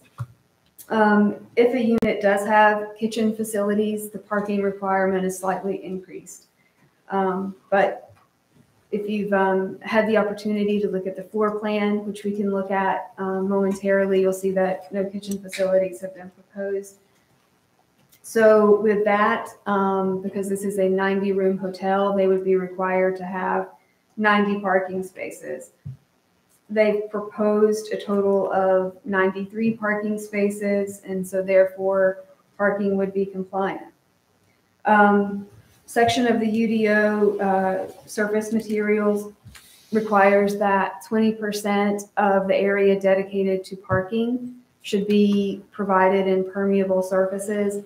Um, looking at the site plan, you'll note um, this whole area here adjacent to 158 is being proposed in a permeable surface. Um, that's going to bring them up to 22.9% um, of permeable surfaces here. The UDO requires um, that when parking abuts a right-of-way, there has to be a 10-foot wide landscape buffer, um, and they have provided that um, adjacent to the right-of-ways, um, the Forest Street right-of-way, the Lakeside Street right and the 158 right-of-way. Um, we talk about the uh, need for increased buffering along this western property boundary because it is located adjacent to a residential district. Um, we call that the commercial transitional protective yard. Um, it requires at least a buffer that is 25 feet in width along the entire length of the lot. The buffer shall consist of three rows of plant materials. Um, so as you can see um, along this area. Um, building setback requirements for hotels over three stories states that for hotels west of NC 12, a minimum 25-foot natural or landscape buffer shall be provided along the northern and southern boundaries. This is one of those sections that's not in the hotel overlay. It's actually part of the village hotel district, so it's more stringent. Um, The hotel overlay actually doesn't require this, but because it's part of the village, um, it has been applied. And as you can see, they do have the 25-foot setback with buffer along the northern and southern boundaries here. So we find that that is compliant as well. Um, Interior parking lot landscaping requires that the area specifically dedicated to parking stalls, um, that 10% of that shall be dedicated to um, interior parking lot vegetation. And um, they've provided approximately 12% of interior vegetation, so there's compliance with that as well. Um, Section 10.93 um, Point three point eight of the UDO speaks to the requirement that you um, would need to either preserve percent of the site in existing mature vegetation. If you cannot do that, you would need to plant fifteen percent of the lot area in vegetation. You'll see here in, in this um, red hashed area that they have proposed to preserve a small area of existing mature vegetation here. Um, but they aren't even counting that towards their total. Um, they're actually going to go ahead and plant um, 18% of the lot area, 8% of the total lot area, new plantings, um, which would include the required number of trees, shrubs, plants, and grasses. So we do find that that requirement has been met as well. Um, of course, um, if this is approved and it's constructed, uh, a compliant lighting plan need to be provided, um, the appropriate fixtures, and of course, we'll conduct a light audit prior to any type of approvals. The applicant, um, in terms of their water and sewage disposal, um, they're including uh, management through on-site wastewater technology using an advanced treatment system in combination with four separate low-pressure disposal fields. The average daily design flow of 11,000 gallons per day requires approval through the North Carolina Department of Health and Human Services, the environmental health section to the town when it is granted. Um, but we know that no development permits um, will be issued prior to receipt of those state approvals. Looking here at the site plan, you'll see where this um, the on-site treatment's been proposed in this area. Um, the town engineer, uh, two points of ingress and egress are shown along Lakeside Drive. It's going to be um, here and here. The UDO indicates that curb cuts in excess of one on streets other than 158 and C12, US 64 264, or State Road 1243 are allowed if or that more than one curb cut is desirable to facilitate traffic flow. Staff feels that these two um, separate access points from Lakeside are appropriate to facilitate traffic flow in conjunction with emergency vehicle access and sanitation um, truck access as well. We note that a loading zone has been provided in compliance with the code. Um, also note that uh, a traffic impact analysis has been prepared by VHB um, and a traffic consultant for the applicant um, has submitted this to NCDOT for review. I do believe that perhaps NCDOT has provided comments at this point. Um, so Brian Sewell or David Neff can speak to that um, following this presentation. Um, the existing traffic data was collected in early September um, of 2022 to review existing intersection turning movements along East and West Lakeside Street from both South Croatan Highway and South Virginia Dare Trail. The collected data was analyzed based on current roadway geometrics and traffic counts with no proposed improvements recommended at full project build out. The traffic consultant will be available to present the findings of the report at this meeting. Um, and he will be available via Zoom um, once I conclude my presentation and address any questions that you may have. He'll, he'll be prepared to discuss um, the traffic impact analysis. Uh, The town engineer has also reviewed the stormwater management plan. Um, Kind of lengthy comments, but I would like to have them on record for um, anyone listening or down, uh, looking at this down the road. Um, The proposal is being reviewed under section 11.4, general standards for commercial mixed use or all non-single family um, development. This includes multifamily development, um, and it requires development of a property to provide stormwater control measures to retain runoff from a 4.3 inch design storm. Questions have arisen as to how this application should be reviewed regarding stormwater management and whether the proposal would be considered as part of the Village at Nags Head Stormwater Master Plan. The North Carolina Department of Environmental Quality, Division of Energy, Mineral and Land Resources staff has been contacted to discuss this matter. The application would not be viewed as a common plan of development, um, and it would not be considered as part of the system. So it is appropriate to review this under the current state and local stormwater regulations. During the review process, a negative easement was discovered to be applied to the property.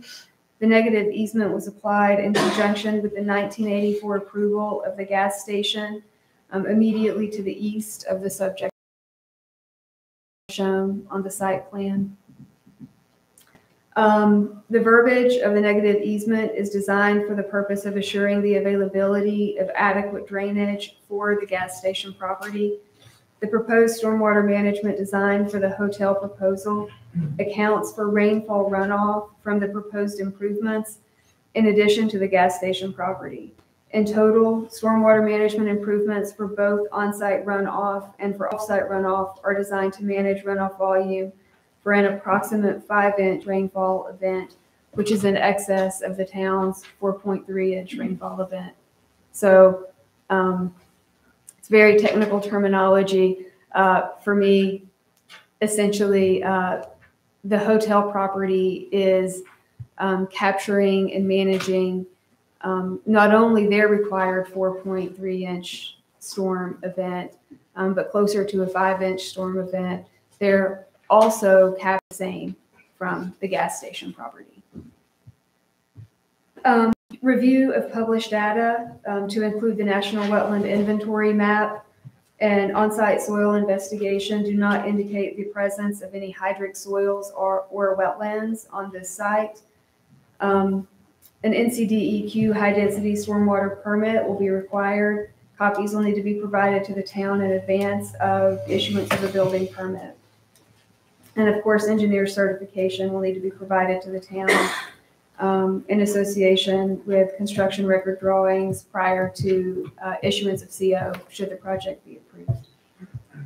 Um, With regard to erosion and sedimentation control, uh, The building permit submission for land disturbing activity shall include the ground stabilization and material handling and inspection, record keeping and reporting detail sheets that are required by the NCG 01 NPDES construction program. And the applicant shall provide for a certificate of coverage through the NPDES construction program prior to land disturbance activities occurring. A pre-construction conference will need to be had um, with the appropriate staff prior to any land disturbance. Um, With regard to fire, um, the project is required to comply with the NC Fire Protection Code. Um, And Deputy Chief Shane Height has reviewed this. He has provided some comments that are um, essentially just basic code requirements, but has determined that the, the submittal is compliant um, with the fire prevention code. The same for Public Works. The Public Works Director has reviewed the proposal um, and find that the site plan um, is compliant as it's been proposed. Uh, For staff analysis, staff finds that the proposal is consistent with the applicable use and development standards as well as land use policies. Staff finds that the proposed stormwater management plan satisfies the requirements of the negative easement via an approved alternative drainage plan, which accommodates the 4.3 inch storm event for both the proposed hotel development as well as the existing improvements for the gas station property. Article 4, Section 4 of the UDO discusses procedures for subdivision approvals. Um, Records reflect that the current property owner for this hotel site owns lots 32, 33, 34, 35, 36, 22, 23, 26, and 27 in their entirety, and a portion of lots 24, 29, 30, and 31. The remaining portion of those four lots are owned by Harrell Acquisitions LLC. Um, Until 1999, this entire tract um, was in common ownership. To date, while the boundaries are referenced in transferring deeds, there hasn't been a formal subdivision um, approval pursuant to the requirements of the UDO for these parcels. So we are requesting um, that if you choose to approve this request, that you place a condition on the approval um, that the required subdivision um, and lot recombination be completed prior to issuance of any permits. Um, With that in mind, staff does recommend approval of the site plan with the notation that the subdivision and the recombination plat um, be provided in advance of issuing any permits. Um, I- We would also note um, that following this, uh, a notation be provided on the site plan, should it be approved, um, noting that the stormwater, that the approved stormwater plan accounts for both the 4.3 inch storm um, for this site, as well as the gas station site. We would use the parcel number, or PIN number. Um, And then we'll also follow up with an approval letter from staff with these conditions spelled out and ask that both be recorded at the Register of Deeds um, so that moving forward, um, it will, it will be known um, uh, that the approved stormwater plan needs to be maintained and continue to manage the stormwater um, as has been designed. The planning board did review this at their August 16th, 2022 meeting. They voted four to two to recommend approval of the site plan. Um, Following the August 16th approval, the planning board has revised their stormwater management plan for that additional runoff that we've talked about. And as I noted, VHB um, has conducted that traffic impact analysis. So I will say that uh, when we presented this to the planning board, um, those items were not included. However, they do seem to be um, uh, above and beyond what was required time. So Thank I'm happy to answer any questions that you may have. Mike? Kelly, excuse me, two questions. Number one, I noticed on page 14 um, of the site plan, there's a sign location and it says town approved. I didn't mention, I didn't hear any mention of a sign being approved already or location being approved, or what would have to happen with that? So um, we didn't review it for sign location. A lot of people go ahead and put that on there so that we can determine that the site triangle is being met, um, the 10 by 70. But prior to any sign being installed, that would need to come in under separate application and would receive a separate review and approval. Okay. And then the other thing, they mentioned breakfast in the middle of the floor plan, um, no kitchen shown. How would, would those extra spots accompany any kind of kitchen or what would, would those extra parking spots that they put in, would that accom, you know, meet the required parking if they did add breakfast? So I do think they are going to provide um, breakfast, and, and maybe they can speak to that. There will be um, the opportunity for people to grab a little bit of breakfast on their way out, but there will not be a full kitchen, nor will individual hotel units contain kitchen facilities. That's all, thank you. Thank you, Commissioner King. No, thank you. Just real quick, you talked about uh, the re- more restrictive standard would be applied where applicable, and we talked about the north and south boundaries, and it was applied at 25 feet. Yes. What would be the less restrictive? 20 feet or? Um, well, so actually in the hotel overlay, um, there would be no, um, requirement. It would just be your standard setback. Um, so there would be no landscape requirement. And I did not, while reading it or listening to the presentation, was there any other restrict, more restrictive standard that was applied here? Uh, no, it was simply with regard to, um, the twenty-five foot, uh, buffer on the north and south. Thank you. Just for a public record, can you uh, elaborate on the stormwater and where it's captured? I've had some people concerns about that from some citizens, so. Sure. Um, if it's okay with you, I would probably defer to our town manager, David Ryan, Certainly. um, to discuss this one. Okay, got- He got a promotion.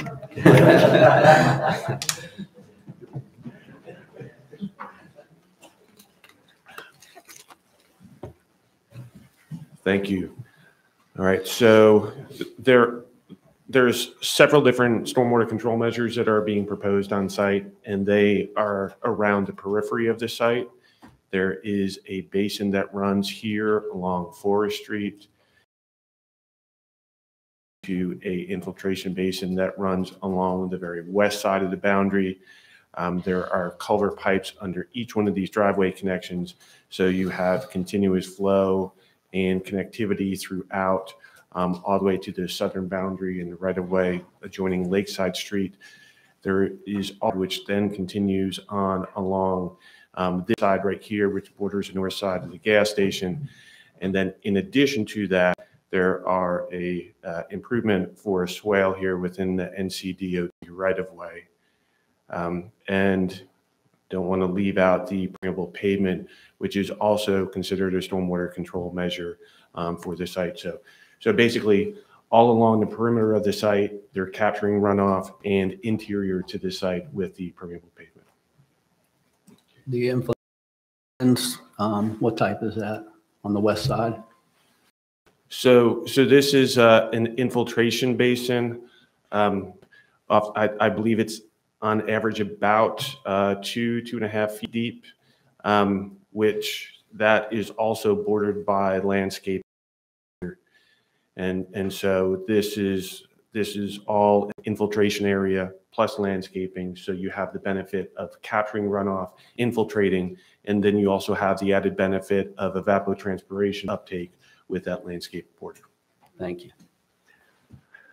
David, um, there were calculations presented for the existing, uh, service station because that stormwater had to be accommodated. And so I saw those calculations on the, on the site plan. Are there any structures that, in other words, that site, you know, I presume is not being modified in any way on that site. So were there any flumes or other structures um, or simply uh, pavement slopes that are carrying the water to those swales that are designated for that? Yes, let me see if I can find that sheet.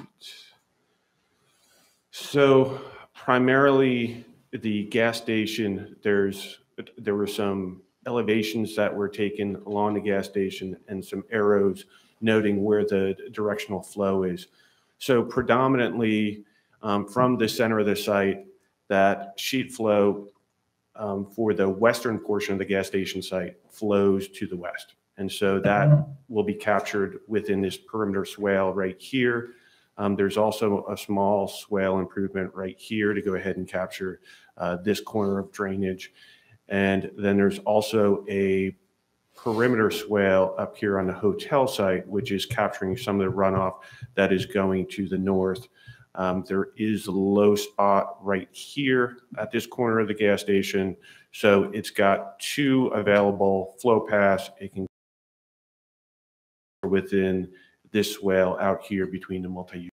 So primarily sheet flow is how that's going to be managed. Thank you.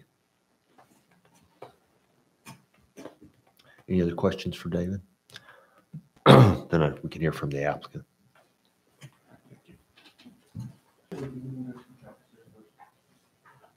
If it's okay, would, um, would they be allowed to go ahead and do the presentation from your traffic engineer? Absolutely, sure. Yep. Good morning. Can everyone hear me? We can. Yeah, I'll try to share my screen real quick and get the presentation up and running.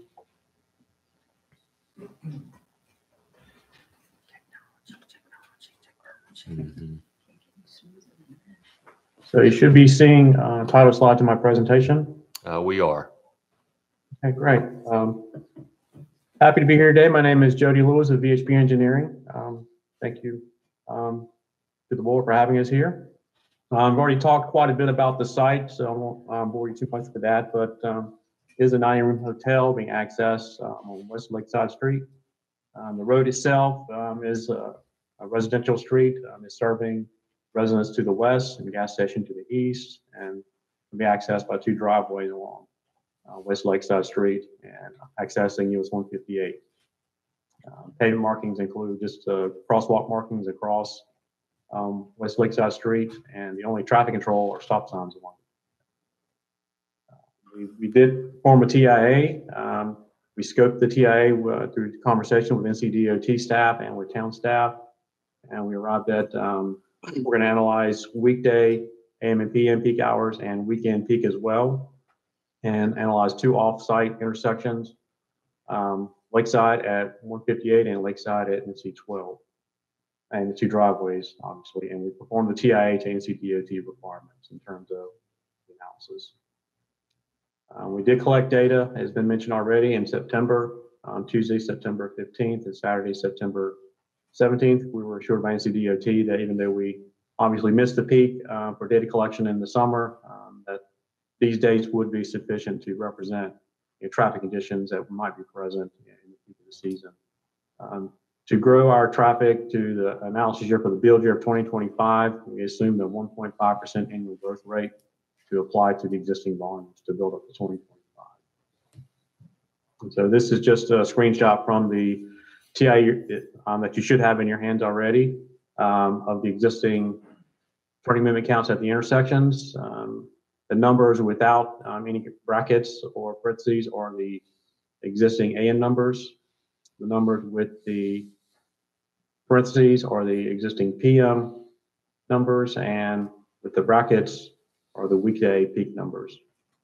As you can see, not a whole lot of traffic coming and going from Lakeside, either east or west of uh, US 158 or NC 12.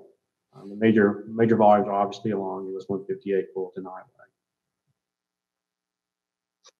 Um, so we we applied 1.5% for three years to those volumes, and we generated what we're calling our 2025 no build on traffic volumes. We arrived at that year 2025 for analysis because the um, hotel should open in the summer of 2024, so we want one year beyond um, just to assure that we're getting full occupancy of the hotel for trip generation purposes. So for trip generation, uh, for the 90 room hotel, um, I tried to highlight the, the peaks. Um, AM peak during the week would be 38 trips generated. PM peak would be 39 trips generated. And on Saturday peak would be 65 trips generated. So then we distribute those trips uh, we, we assigned 50% north and south uh, of the site um, along US 158 and NC 12. We assume 20% would come and go on NC 12 and remaining 80% would come and go on US 158. And that's on the graphic to the left. On the right is uh, actual traffic numbers being generated by the, the site. And you can see not very significant um, gener generation of, of sites from the trip or trips from the site. And then we overlay those onto the 2025 no build numbers to arrive at the 2025 build um, turning movement counts. So you see, again, very low movements uh, coming and going from the site, turning left or going through and at US 158 and even fewer over at um, NC 12.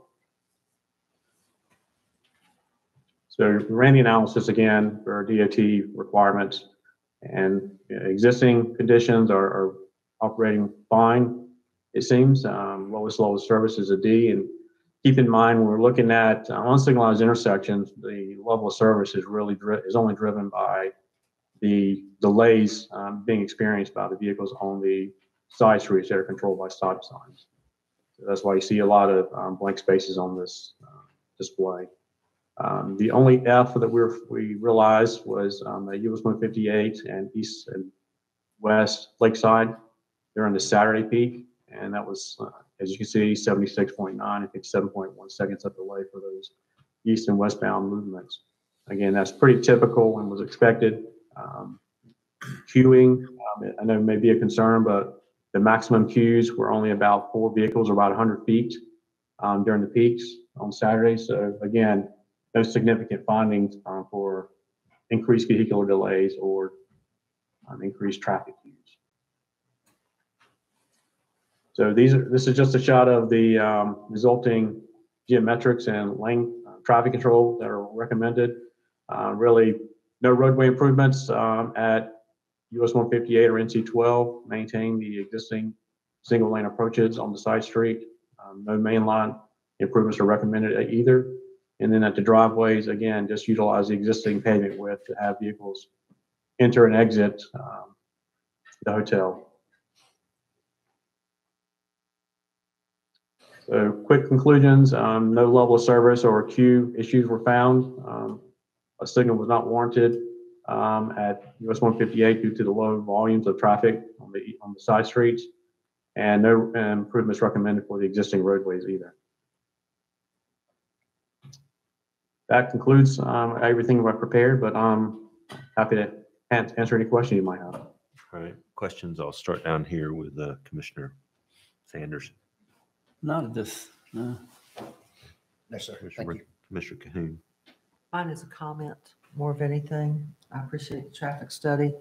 I do think that it would behoove both the developer, the town, and DOT to have a stoplight at Lakeside. We've talked about it in the past. I think now would be an ideal time for the three entities to get together and jointly pay for a stoplight. Um, I think it would be important both for the hotel as well as residents of Lakeside um, to have a stoplight. And I would like to see the town pursue a joint venture with the other entities. Thank you. No comment. Can I add something to what Commissioner Cahoon said? Um, Yes. I am a little concerned too about pedestrian traffic crossing the bypass to the uh, two popular businesses right across the street and Ice Cream Street down the beach road. So I agree with you. Well, all right. It's not a condition of approval. It's just that I would like to see us do a joint venture have all the parties come to the table. And that way, nobody has the major impact of a, DOT's already said they're not going to pay for stoplight. If it was a joint venture, maybe they would consider it. All right, thank you. I would say for the developer, if they could get DOT to pay a third and us to pay a third, it'd be a heck of a deal and it would certainly be worth doing. Um, So uh, I, I agree to that extent. Thank you. Um, Thank you. Then I think that we are done with uh, the VHB discussion. And um, so applicant, if you wish to speak. Good to see you guys. Brian Sewell, House Engineering. Hope everybody's doing well. I'm going to start off by thanking staff. Um, Head has always taken pride, and I've got a little insight on that, on their employees. Um, And to this, to that fact, I'd like to thank specifically Kelly and the town engineer, Mr. Ryan. They have been a great asset in helping us work through this process for months, not just a few weeks. Um, We have tried our best to go above and beyond what's required um, for the ordinance. For example, stormwater, four three, we've designed to five. The state only requires one point five. We're, we're collecting the negative easements, the traffic studies. We've tried to go above and beyond. And we actually took a month off because we listened. We heard the concerns about the traffic. So during that month time, we took the, the, we listened to the, to staff, the boards, the public, and addressed those concerns. And I would like to thank Jody for being here today. Um, they did a very comprehensive report and I'd like to thank them for that. Um, I think that this project will be a very good thing for the town of Head. It will be a great accompaniment to the Soundside um, Event Center. It'll also provide some fresh rooms. I think that was brought up before for people to stay in.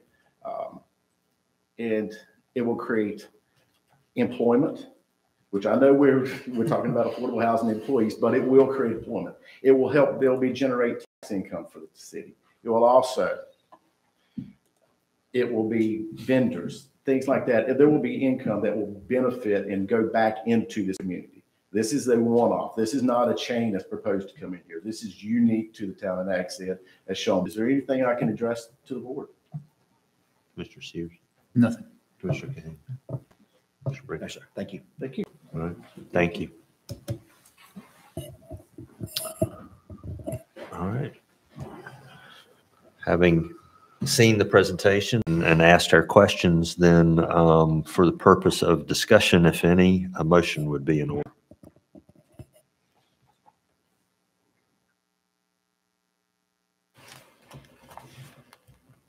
Mayor, I make a motion that we approve the site plan for the 90-unit hotel Inn at Whalebone with the staff recommendation that we have an approved subdivision plat addressing the portions of lots 24, 29, 30, and 31, and a recombination plat addressing lots 32, 33, 34, 35, 36, 22, 23, 26, and 27 be approved and filed at the Dare County Register of Deeds prior to the issuance of any development permits for the proposed hotel project.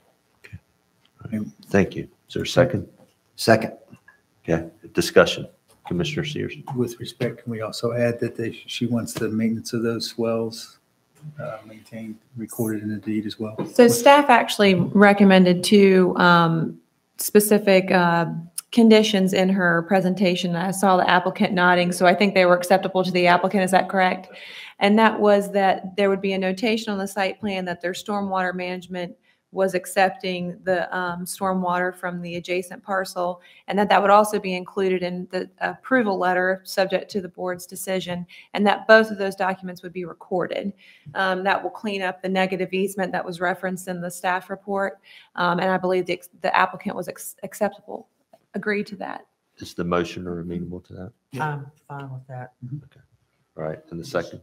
And the, all right, very good. Then we have an amended motion and a second. Any discussion?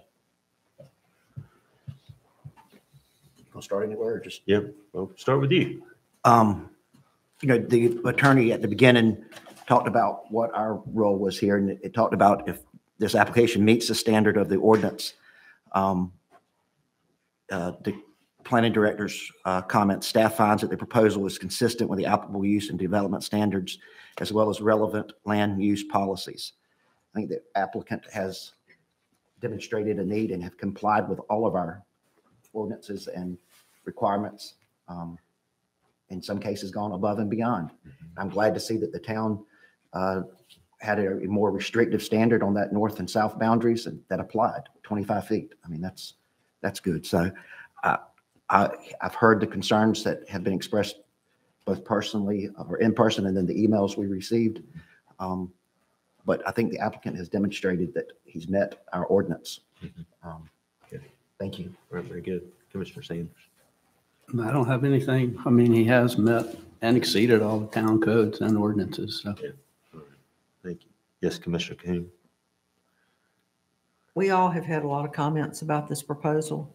Um, I know the neighborhood is extremely concerned and should be. Uh, That's where they live.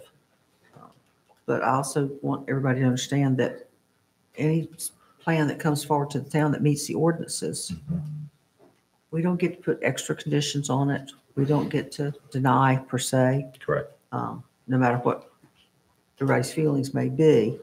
Um, We have to live by our code of ordinances. And if we don't like our code of ordinances, we have to change them. But you don't change them after the door is opened. Right. You have to change it before something has been presented. And this site plan meets all of our code and therefore it should be adopted. I, I agree with that. Um, and before we vote, I, you know, as a, somebody who's also engaged in this, I compliment you on the site plan. I know you put a lot on there and it is tight and it is, it is well done. So, um, I, I, I can appreciate that. All right, then we have a motion and a second. Uh, any further discussion? Hearing none, all in favor signify by saying aye. Aye. Opposed? All right, thank you. Uh, The board will be in recess for um, about 10 minutes or so. Thank you.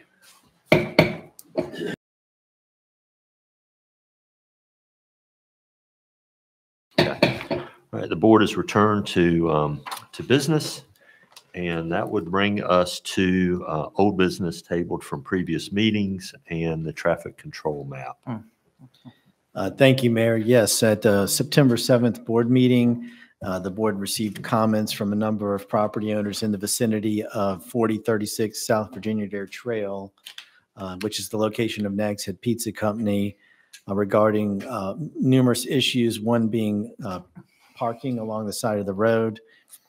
The board directed staff to do an analysis of this and make a recommendation back to the board today on whether or not uh, a no parking area is warranted on the west side of 12 uh, in this area. And so with that, I'd like to introduce our new police chief, Perry Hale, to come and give his analysis.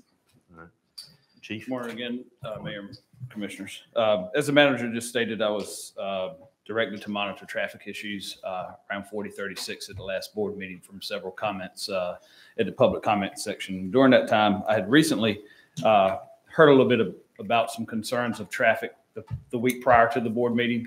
So I already had staff monitoring this from Labor Day weekend up until the date of the memo that I pre- uh, presented for this uh, meeting today, which was the 27th of September. During that time, uh, from September the 3rd, uh, police department staff had completed a total of 41 field contacts.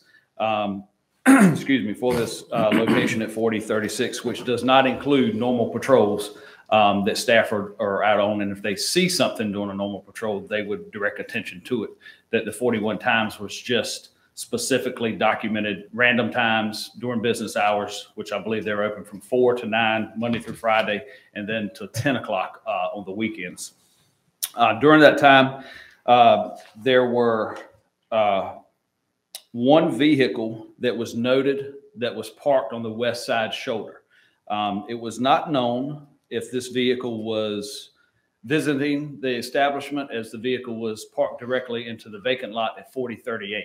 There were no other vehicles parked on the shoulder in front of 4036, and then the parking lot was noted that it was not full during the time that the vehicle was parked on that shoulder as well.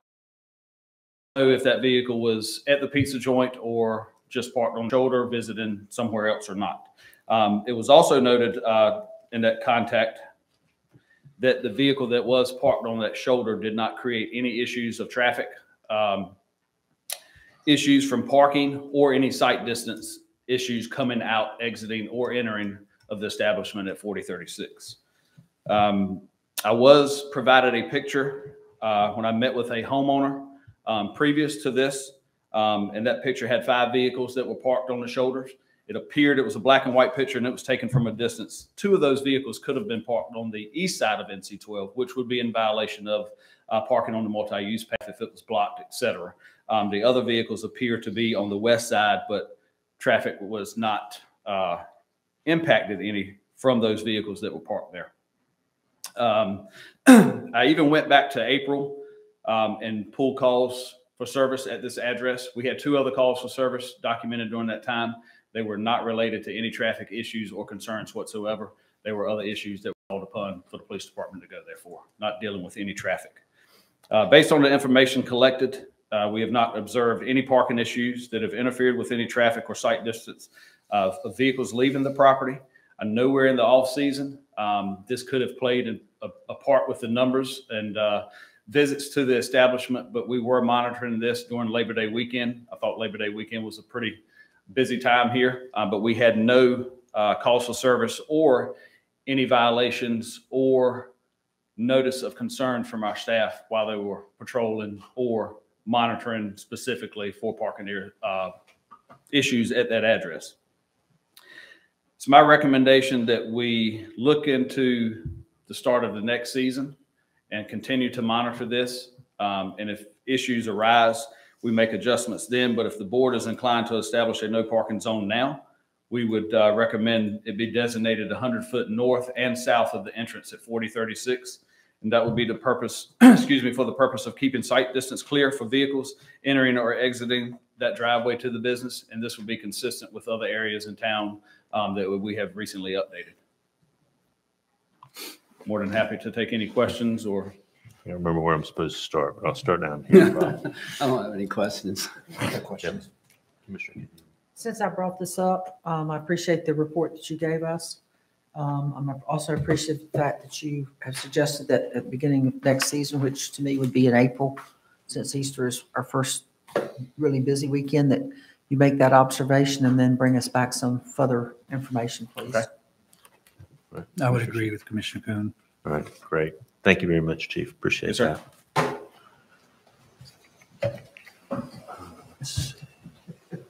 All right, so that brings us to, um, actually, I think before we go to the town attorney, and I think that we can do the manager's item. Were there committee reports? Yeah, New business. Yes, committee reports. Thank you. I'll start down here. Nothing to report at this time, sir. Okay, all right, thank you. Mr. King. Um, Nothing to report on that, but I will inform the town that at the last CRC meeting, that we gave direction staff to bring back possibly some new rule language as it's going to relate to placement of septic tanks on the ocean front. That's great. Hallelujah. Appreciate that, Commissioner Yes, sir. Brinkley. Nothing from Jennette's Pier, and uh, the planning director gave a update on the voluntary septic subscription service meeting. Thank you. Very good. Planning, planning director also gave an update on the shoreline committee, so. All right, very good. I I would mention one additional thing. Uh, We had a pedestrian, a first pedestrian planning committee. Sorry, I forgot that. We did have a pedestrian planning, um, that, we had pretty good attendance out of that too. We even had, uh, one of the ladies that's on there from out of town participate by phone. Very good. Um, Had to leave a little early to get back to work, but very good input and participation by all members. Staff, Da- David Ryan and Andy gave great background and presentations, and uh, I look forward. I think we're going to make some progress. Oh, that's awesome. You- We're looking to try to get something together by the January timeframe, you know, and so right now we're just working on a ranking criteria uh, that we could use to, to score projects. And then they looked at the list of projects you saw in the CIP and then also what other projects were, were included in our past pedestrian plan. And we certainly asked them to look at anything that they wanted to bring forward, you know, just based on their knowledge of the community. So I think it'll be a good working group. All right, very good. Thank you. All right, and uh, managers' items. Okay, so there, there are three things here. I guess the first item, and all these will be very brief. I'll cover the first item and then David will come and do the second uh, two items. Um, So legislation for dangerous holes on the beach, uh, this is something that the board has been working on for a while.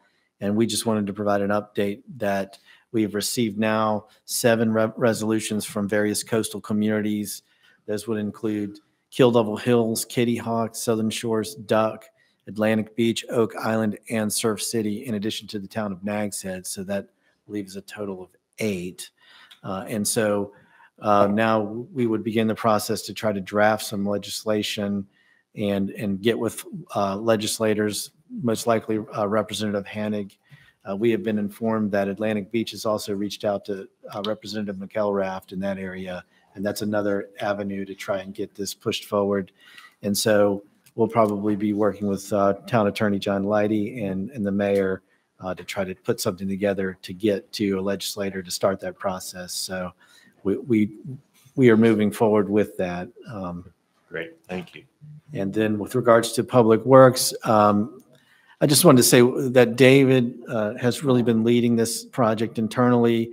Uh, He's been doing an outstanding job uh, coordinating between the, the design team and our staff to try to make sure that the plans reflect what the staff really needs to have in this new pro, in this new complex. You know, I, I just take from all the board's comments so far that what we're really trying to do is provide the resources for staff to, to function well into the future and give them what they need. And so there's been numerous meetings with David and the architect and the engineers uh, to go over the plans, to make sure that the staff in Public Works understands what's in the plans and, and provide input on the things that they need, not only in the building design, but also in the um, equipment that would be uh, serviced in the building. And so, uh, and I appreciate Nancy and, and putting together meetings with her superintendents to go through everything. And, and there has been numerous meetings, but uh, with that, David will give a brief update on where we are. Yeah, uh, thank you, Andy. Um, As, as Andy had said, it's really been a staff-driven process up to this point. Um, Getting staff involved, getting their feedback in order to make sure that we address all their specific needs. Um, As we've been going through the process, uh, we have completed the planning board review, and you will be seeing this plan for your review uh, at the November meeting.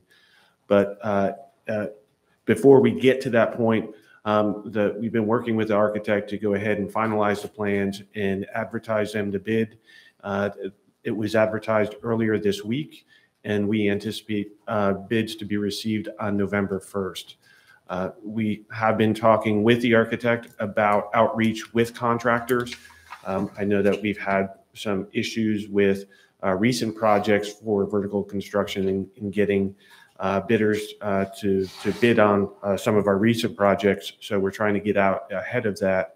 And so uh, the architect has been doing some outreach and he's hoping that uh, we, he can get six to seven bidders on this project. Um, He has been in constant communications uh, throughout the, the process.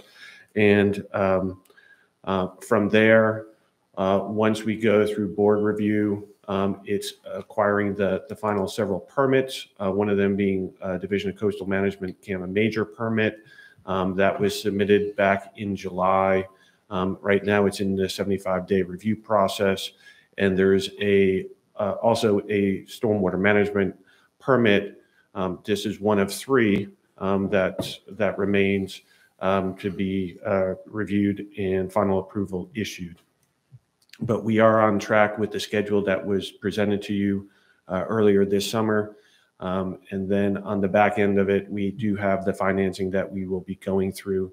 Uh, But just wanted to give the board an update that we are maintaining our schedule. We are moving forward um, as, uh, as planned. So I'll be glad to answer any questions that you have. And I'd just like to add a, a couple of things just to remind the board.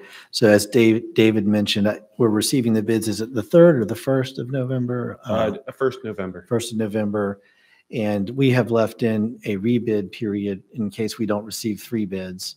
That would give another 10 days, I believe. But the board had scheduled a retreat on November 16th and 17th. And what we were looking at was a full day on the 16th and a half day on the 17th. The 16th would be the day that we would informally look at the bids, uh, but we wouldn't ask the board to actually uh, award the bid until the December regular meeting. That would give us more time to go through them because we'll have just received them. But we also wanted to kind of cover the bids and the, the total cost of the project with the board and get some feedback uh, because there could be a lot of variables that affect what moves forward. Um, with that said, in talking with some of the commissioners prior to this meeting, um, there may be a desire to ask whether or not we modify the dates of the retreat. And maybe Commissioner Cahoon, if you'd like to. When we scheduled the November 16th, it was, we were due to have a mid-month meeting, um, which I was not going to be at because we'd never really have a mid-month meeting in November. Right. But um, since that's only going to be now for retreat, I wonder if the board would consider possibly keeping the retreat on the Thursday, the 17th. 17th, and possibly having the full day of the retreat on the 18th. If that doesn't work with everybody's schedule, I understand, but I would like to participate in that retreat. Sure. But if everybody could check their schedules. Um, I think it's important to do the retreat, and I don't want to stop the retreat in any way, I'm for, I'm good.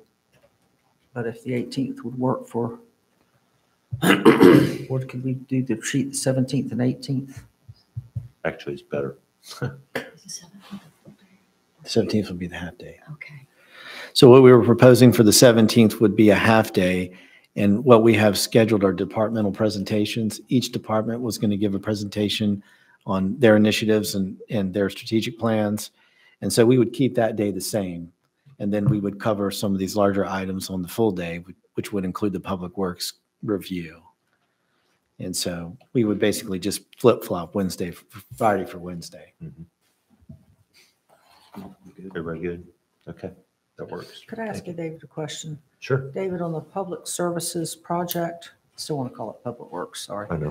It's Um, hard. I know that you're in the middle of a CAMA review for your major permit. Yes. Um, and I know that that's a seventy-five day time frame for outside agencies to comment. Is that going to screw up your schedule? It, as long as we can maintain that s- initial 75-day period, we will maintain our schedule. If we go beyond that, then that can be somewhat problematic. Okay, thank you very much. Right, right now, that 75th day is November 12th. So we, we have to uh, go to the, we're planning to go to the local government commission in January. We need all of our permits in hand and we need to provide them with all information about a month ahead of time. So having the permits in hand at the beginning of December is going to be critical. Thank you. And uh, just to piggyback onto that, uh, our consultant has been following up with the representatives from Division of Coastal Management uh, just to see if there's any issues with the review, so they've been staying on top of that. We did have a pre-project scoping meeting, and, you know, any concerns or comments uh, were, were given at that time and were incorporated into the plan work. So at this point, we don't anticipate any major hurdles or issues that would cause a delay. Um, So um, we, we just hope that, um, that nothing comes up during the course of review that will um, delay our schedule. Okay, thank you very much. Yep, you're welcome.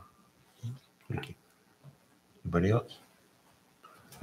Thank you, David. And then I think David was going to go ahead and just give a brief update on beach nourishment. Yep. Okay, um, it's been just, uh, over a month since we completed our most recent post-Dorian, um, restoration project. Um, it took about 21 days in total to go ahead and complete the southern four and a half, uh, miles of town. Um, the project was completed on August 27th with the beach fill operations and then demobilization took place, um, up to two weeks, uh, after that. Um, at this point, the only thing that we have remaining is some sand fence and sprigging, um, which we are currently trying to get scheduled here within the next month or so uh, for that installation, and then that will complete the remaining scope of services. Now, the original planned amount of beach fill was 611,000 cubic yards. We did have a contingency that was um, an allowance that we had uh, for additional beach fill. Uh, There was an additional amount of uh, 2,847 cubic. And therefore, there was a uh, change order um, in the amount of $26,640 uh, for that uh, additional uh, beach fill placement. So um, before you is a request to amend the beach nourishment maintenance capital project ordinance to go ahead and cover this amount.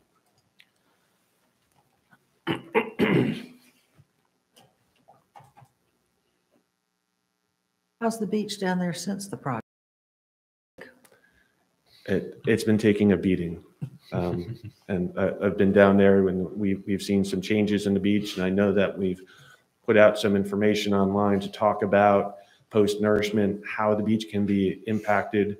Um, But what we have done is maintained a level of protection to those residences down south. So um, we've achieved our primary objective. We know that Mother Nature is going to move that sand around. Um, But um, it's, it, it's done its job. I believe we opened the beach to beach driving today. Mm-hmm. And then the Nags Head Surf Fishing Tournament starts tomorrow. And so things are, are looking up for that. Good, thank you. Would you like a motion? Yes, ma'am.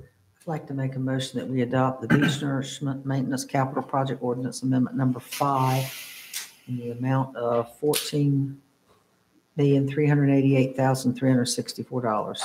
Second. Thank you. I have a motion, and a second. Any further discussion? Hearing none, all in favor signify by saying aye. Aye. Opposed? All right, thank you. All right, thank you. Thank you. David? Andy? Uh, Nothing else right now. Okay, all right. Um, Then that would bring us back up to items referred to and presentations from the town attorney uh, and a closed session. Yes, Mr. Mayor, the, the the only thing I have at this point is the uh, closed session, and if you would like me for, to craft a motion, I can do that. Yes, if you would, please. All right, so uh, the board needs to enter closed session as allowed by General Statute 143-318.11A1 in order to review and approve closed session minutes and to keep certain information confidential, as well as pursuant to uh, 143-318.11A3 in order to confer with the town attorney regarding matters protected by the attorney-client privilege and preserve that privilege, including the town uh, versus Cherry Inc. uh, beach nourishment easement condemnation litigation. Thank you. Have a motion, is there a second? I have a motion and a second. All those in favor signify by saying aye. Aye. Opposed? Thank you. The board will be in closed session.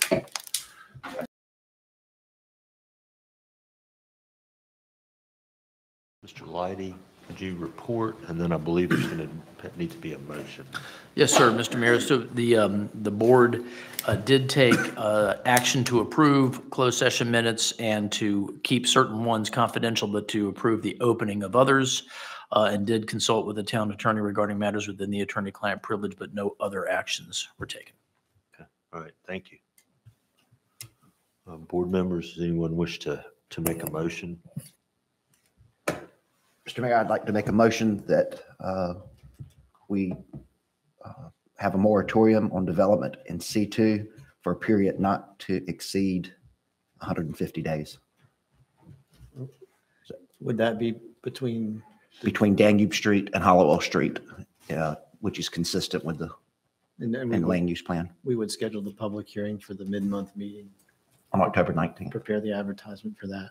Yeah, to initiate the process to adopt one, the moratorium. Okay.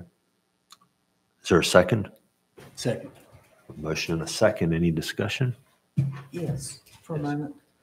In light of the past few months, um, the things we've heard, as well as taking a look at our land use plan, I think it would be appropriate. Um, We've had a lot of concerns um, in a few, more than one area, maybe that entirety of that, but um, it started coming to light back in uh, August. And I think that um, this will give us a breathing room for staff to take a look at our zoning map per the land use plan. Thank you. Any other comment? And this would affect everything except single and two-family dwellings. Correct. Right. That's, well, I believe that's by statute. Mhm. It can only be for um, non-residential structures. Okay. Development. Non, it can only be for non-single-family Non-single family. residents. Okay, all right, thank you. Hearing no further discussion, all those in favor signify by saying aye. Aye. Opposed? Thank you. Uh, That brings us to uh, the commissioner's agenda, and I'll start with Commissioner Cahoon. Thank you. Um, We had this discussion some time ago about electric bikes, and it didn't become obvious until recently that what we all considered electric bikes have changed. Technology is growing, and the bikes are bigger, they're faster, and based on my observation, as well as a lot of comments on my end of the beach, because that's where I live. um, They're huge bikes, they go extremely fast. Um, They are almost running over people on the pedestrian path. They're, they're, they're fast. They're not a bicycle that we think, or an electric bicycle, or electric scooter, or anything like that. They're big tires, they're big bikes. Um, Cars coming out of driveways can stop and look in one, look in a direction, look in another direction, and when they turn around, get ready to pull out, that electric bike is right there, even though it's way further down the street when they first took a glance at it. So they're going faster than an average bicycle. And I'm, I'm not talking about 158. I'm talking about our multi-use paths. And I think we need to address it sooner rather than later. Um, You, you have any suggestions, what you'd like to see? We have a speed limit on our bike path. And I'm not trying to set up patrols or anything else like that, but I think I'd like the police department to take a look at these electric bikes, bring us back some information so that we can be aware of what we're doing, that we can be educated and see what's next steps we need to take. I don't, I don't disagree. They're being operated in a very different way than I think we sort of envisioned. I know you had expressed concern that we didn't want to get into the electric bike police kind of thing, and I, we all agreed with you as well. But from that conversation to today, the evolution has appeared. I think it expands to motorized vehicles, It- electric motorized It vehicles. has changed. It was one thing to see golf carts on the bike path, but now it's another to see these vehicles that are whizzing by. And you've got a lot of people with strollers and a lot of people with children walking, and I'm not sure they can stop. You can't stop for the car that's backing out that doesn't see him either. Yeah. Yeah. That was brought up in our meeting. Yeah. Mhm. All right, thank you. Um, Then, do you have any additional items? One, um, for all the people that came and spoke about Jockey's Ridge this morning on either side, thank you very much. Um, I would like to see the park exercise more public input and involve not just their, I'm glad to see they're involving their friends, but there are a lot of people that care about the park. Um, The town has usually had really good relations with the park and good communication. I think that's gone by the wayside in the past few years, but I would like to see that re-encouraged because they have in the past submitted plans for the town to review. It'd be nice if that were to occur, but I think there just needs to be a lot more openness and community involvement in this process. That's it for me. Thank you. I'll stay on that end, Commissioner. All Seaver. right. Um, I'd also like to thank all the public comments today. Um, Hear citizens is, is nice. We, we do it frequently. Sometimes we don't want to hear it, but it's always nice. And also, I don't know that um, I- anybody's given uh, town staff, Kelly, Kate, Connor, and um, Andy, and the mayor props for their presentation of COA. David. David, for their, their, uh, because that was a great presentation, good representation of what the town's doing behind the scenes. That's very good. We, we were, we were working on a press release. It's a- It probably needed to come out a few days ago, but we've got something drafted that we'd like to get out and it's going to be a joint release with CSI, just going over what happened and what we're trying to do. So. Thank you. Just similar to what the other commissioners have said, thank the people that came out today to speak. I hear their uh, concerns and also the people that took time to uh, send emails, which were uh, read into the record. Thank you for that. Thank you. Bob? Yeah, I agree. It's good for the community to get involved. That's what we're here for. Thank you. Um, That brings us down to the, uh, the mayor's agenda. And, and before I forget, um, there are three items there, but there is one other thing that I have been observing and that I would like to speak to, uh, just, just real briefly while, while we're in open session and speaking to the public. Um, We have an election coming up. And um, Nags Head used to be, uh, town hall here used to be the, the the polling place. Um, I, I, I, and I think Commissioner Cahoon has expressed, would like to see them come back to the town uh, from, from the school now that, now that COVID has passed. But there's a lot of discussion um, in the public um, and has been in the media about poll workers, um, accusations that, that somehow the process is rigged, that they are not, not trustworthy, uh, that they can't be trusted with their elections and the, and the machinery of, of elections. And I had a longtime employee, uh, Jane Brown, who used to live in the Cove. And every election, I gave her the day off and um, I think probably a day and a half because it was set up and breakdown. And she worked the Nags Head polls. And I have a neighbor today in Nags Head, hey, Nags Head Acres, um, who has been a long time poll worker. Um, and it's gotten to the point where, you, you know, people are reluctant, um, and I would understand that, you know, reluctant to go volunteer and work because it's a volunteer job to volunteer and go work the polls because um, uh, certain segments of the public um, just are angry and they don't think you, you can be trusted and they think somehow you're corrupting the process. And so I, I would like to say I've always trusted the polls in Dare County. I think we have quality workers there. They are our friends and our neighbors, um, and they do they do great work. Um, and I would like for them to know um, that they have uh, my support certainly for the work that they do, and hopefully your support um, as well. Here, here. Absolutely. They are our friends. deserve our support. Very good. Thank you. Um, that brings us to consideration of a, um, resolution, uh, to support the bridge to replace the Alligator River Bridge. Uh, this has been brought up to us before. We know that a lot of these have used that bridge going back and forth to work. It's a critical link now, um, and, and there for, for, for us, uh, folks on both sides of the bridge. Um, there was a resolution recently, which, um, and our resolution addressed this, but there was a grant opportunity from the federal government for that bridge uh, to be replaced. And so it was timely that we would adopt a new resolution uh, and forward that to all the appropriate parties in the U.S. Department of Transportation and our uh, representatives in Washington in particular, um, and encourage them to finally put the money forward for this bridge to get replaced because the conventional financing mechanism that we have is not going to get there. And so I bring this back to you. I'm not going to read this to, today. It's similar to other resolutions that we have had in the past. Um, and so having seen that, um, a motion would be in order. So moved. Second. I have a motion and a second. Any further discussion? Hearing none, all in favor signify by saying aye. Aye. Opposed? All right, thank you.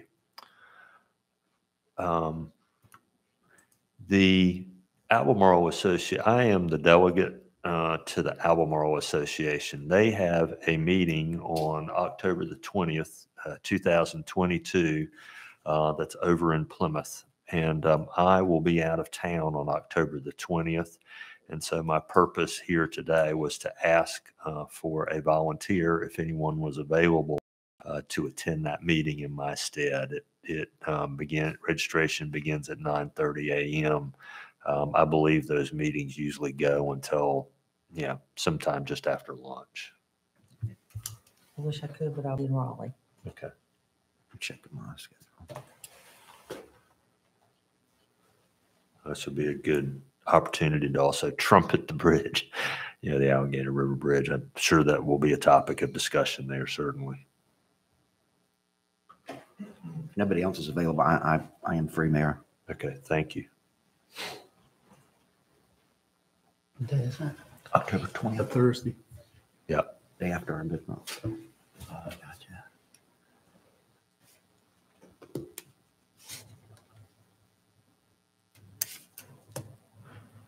If you are willing, Yes, sir. I'll be happy to.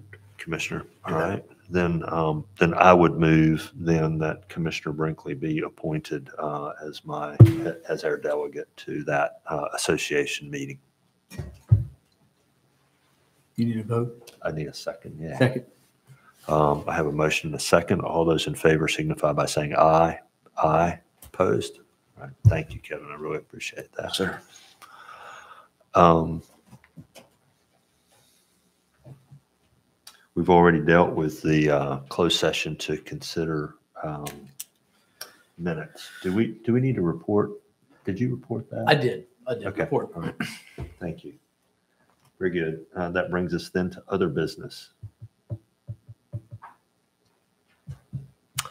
Hearing none, and that brings us to recess to Wednesday, October the 19th at 9 a.m. for the mid-month meeting.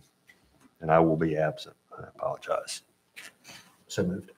I have a motion to recess. Is there a second? Second. I have a motion and a second. All those in favor signify by saying aye. Aye. Opposed? Thank you.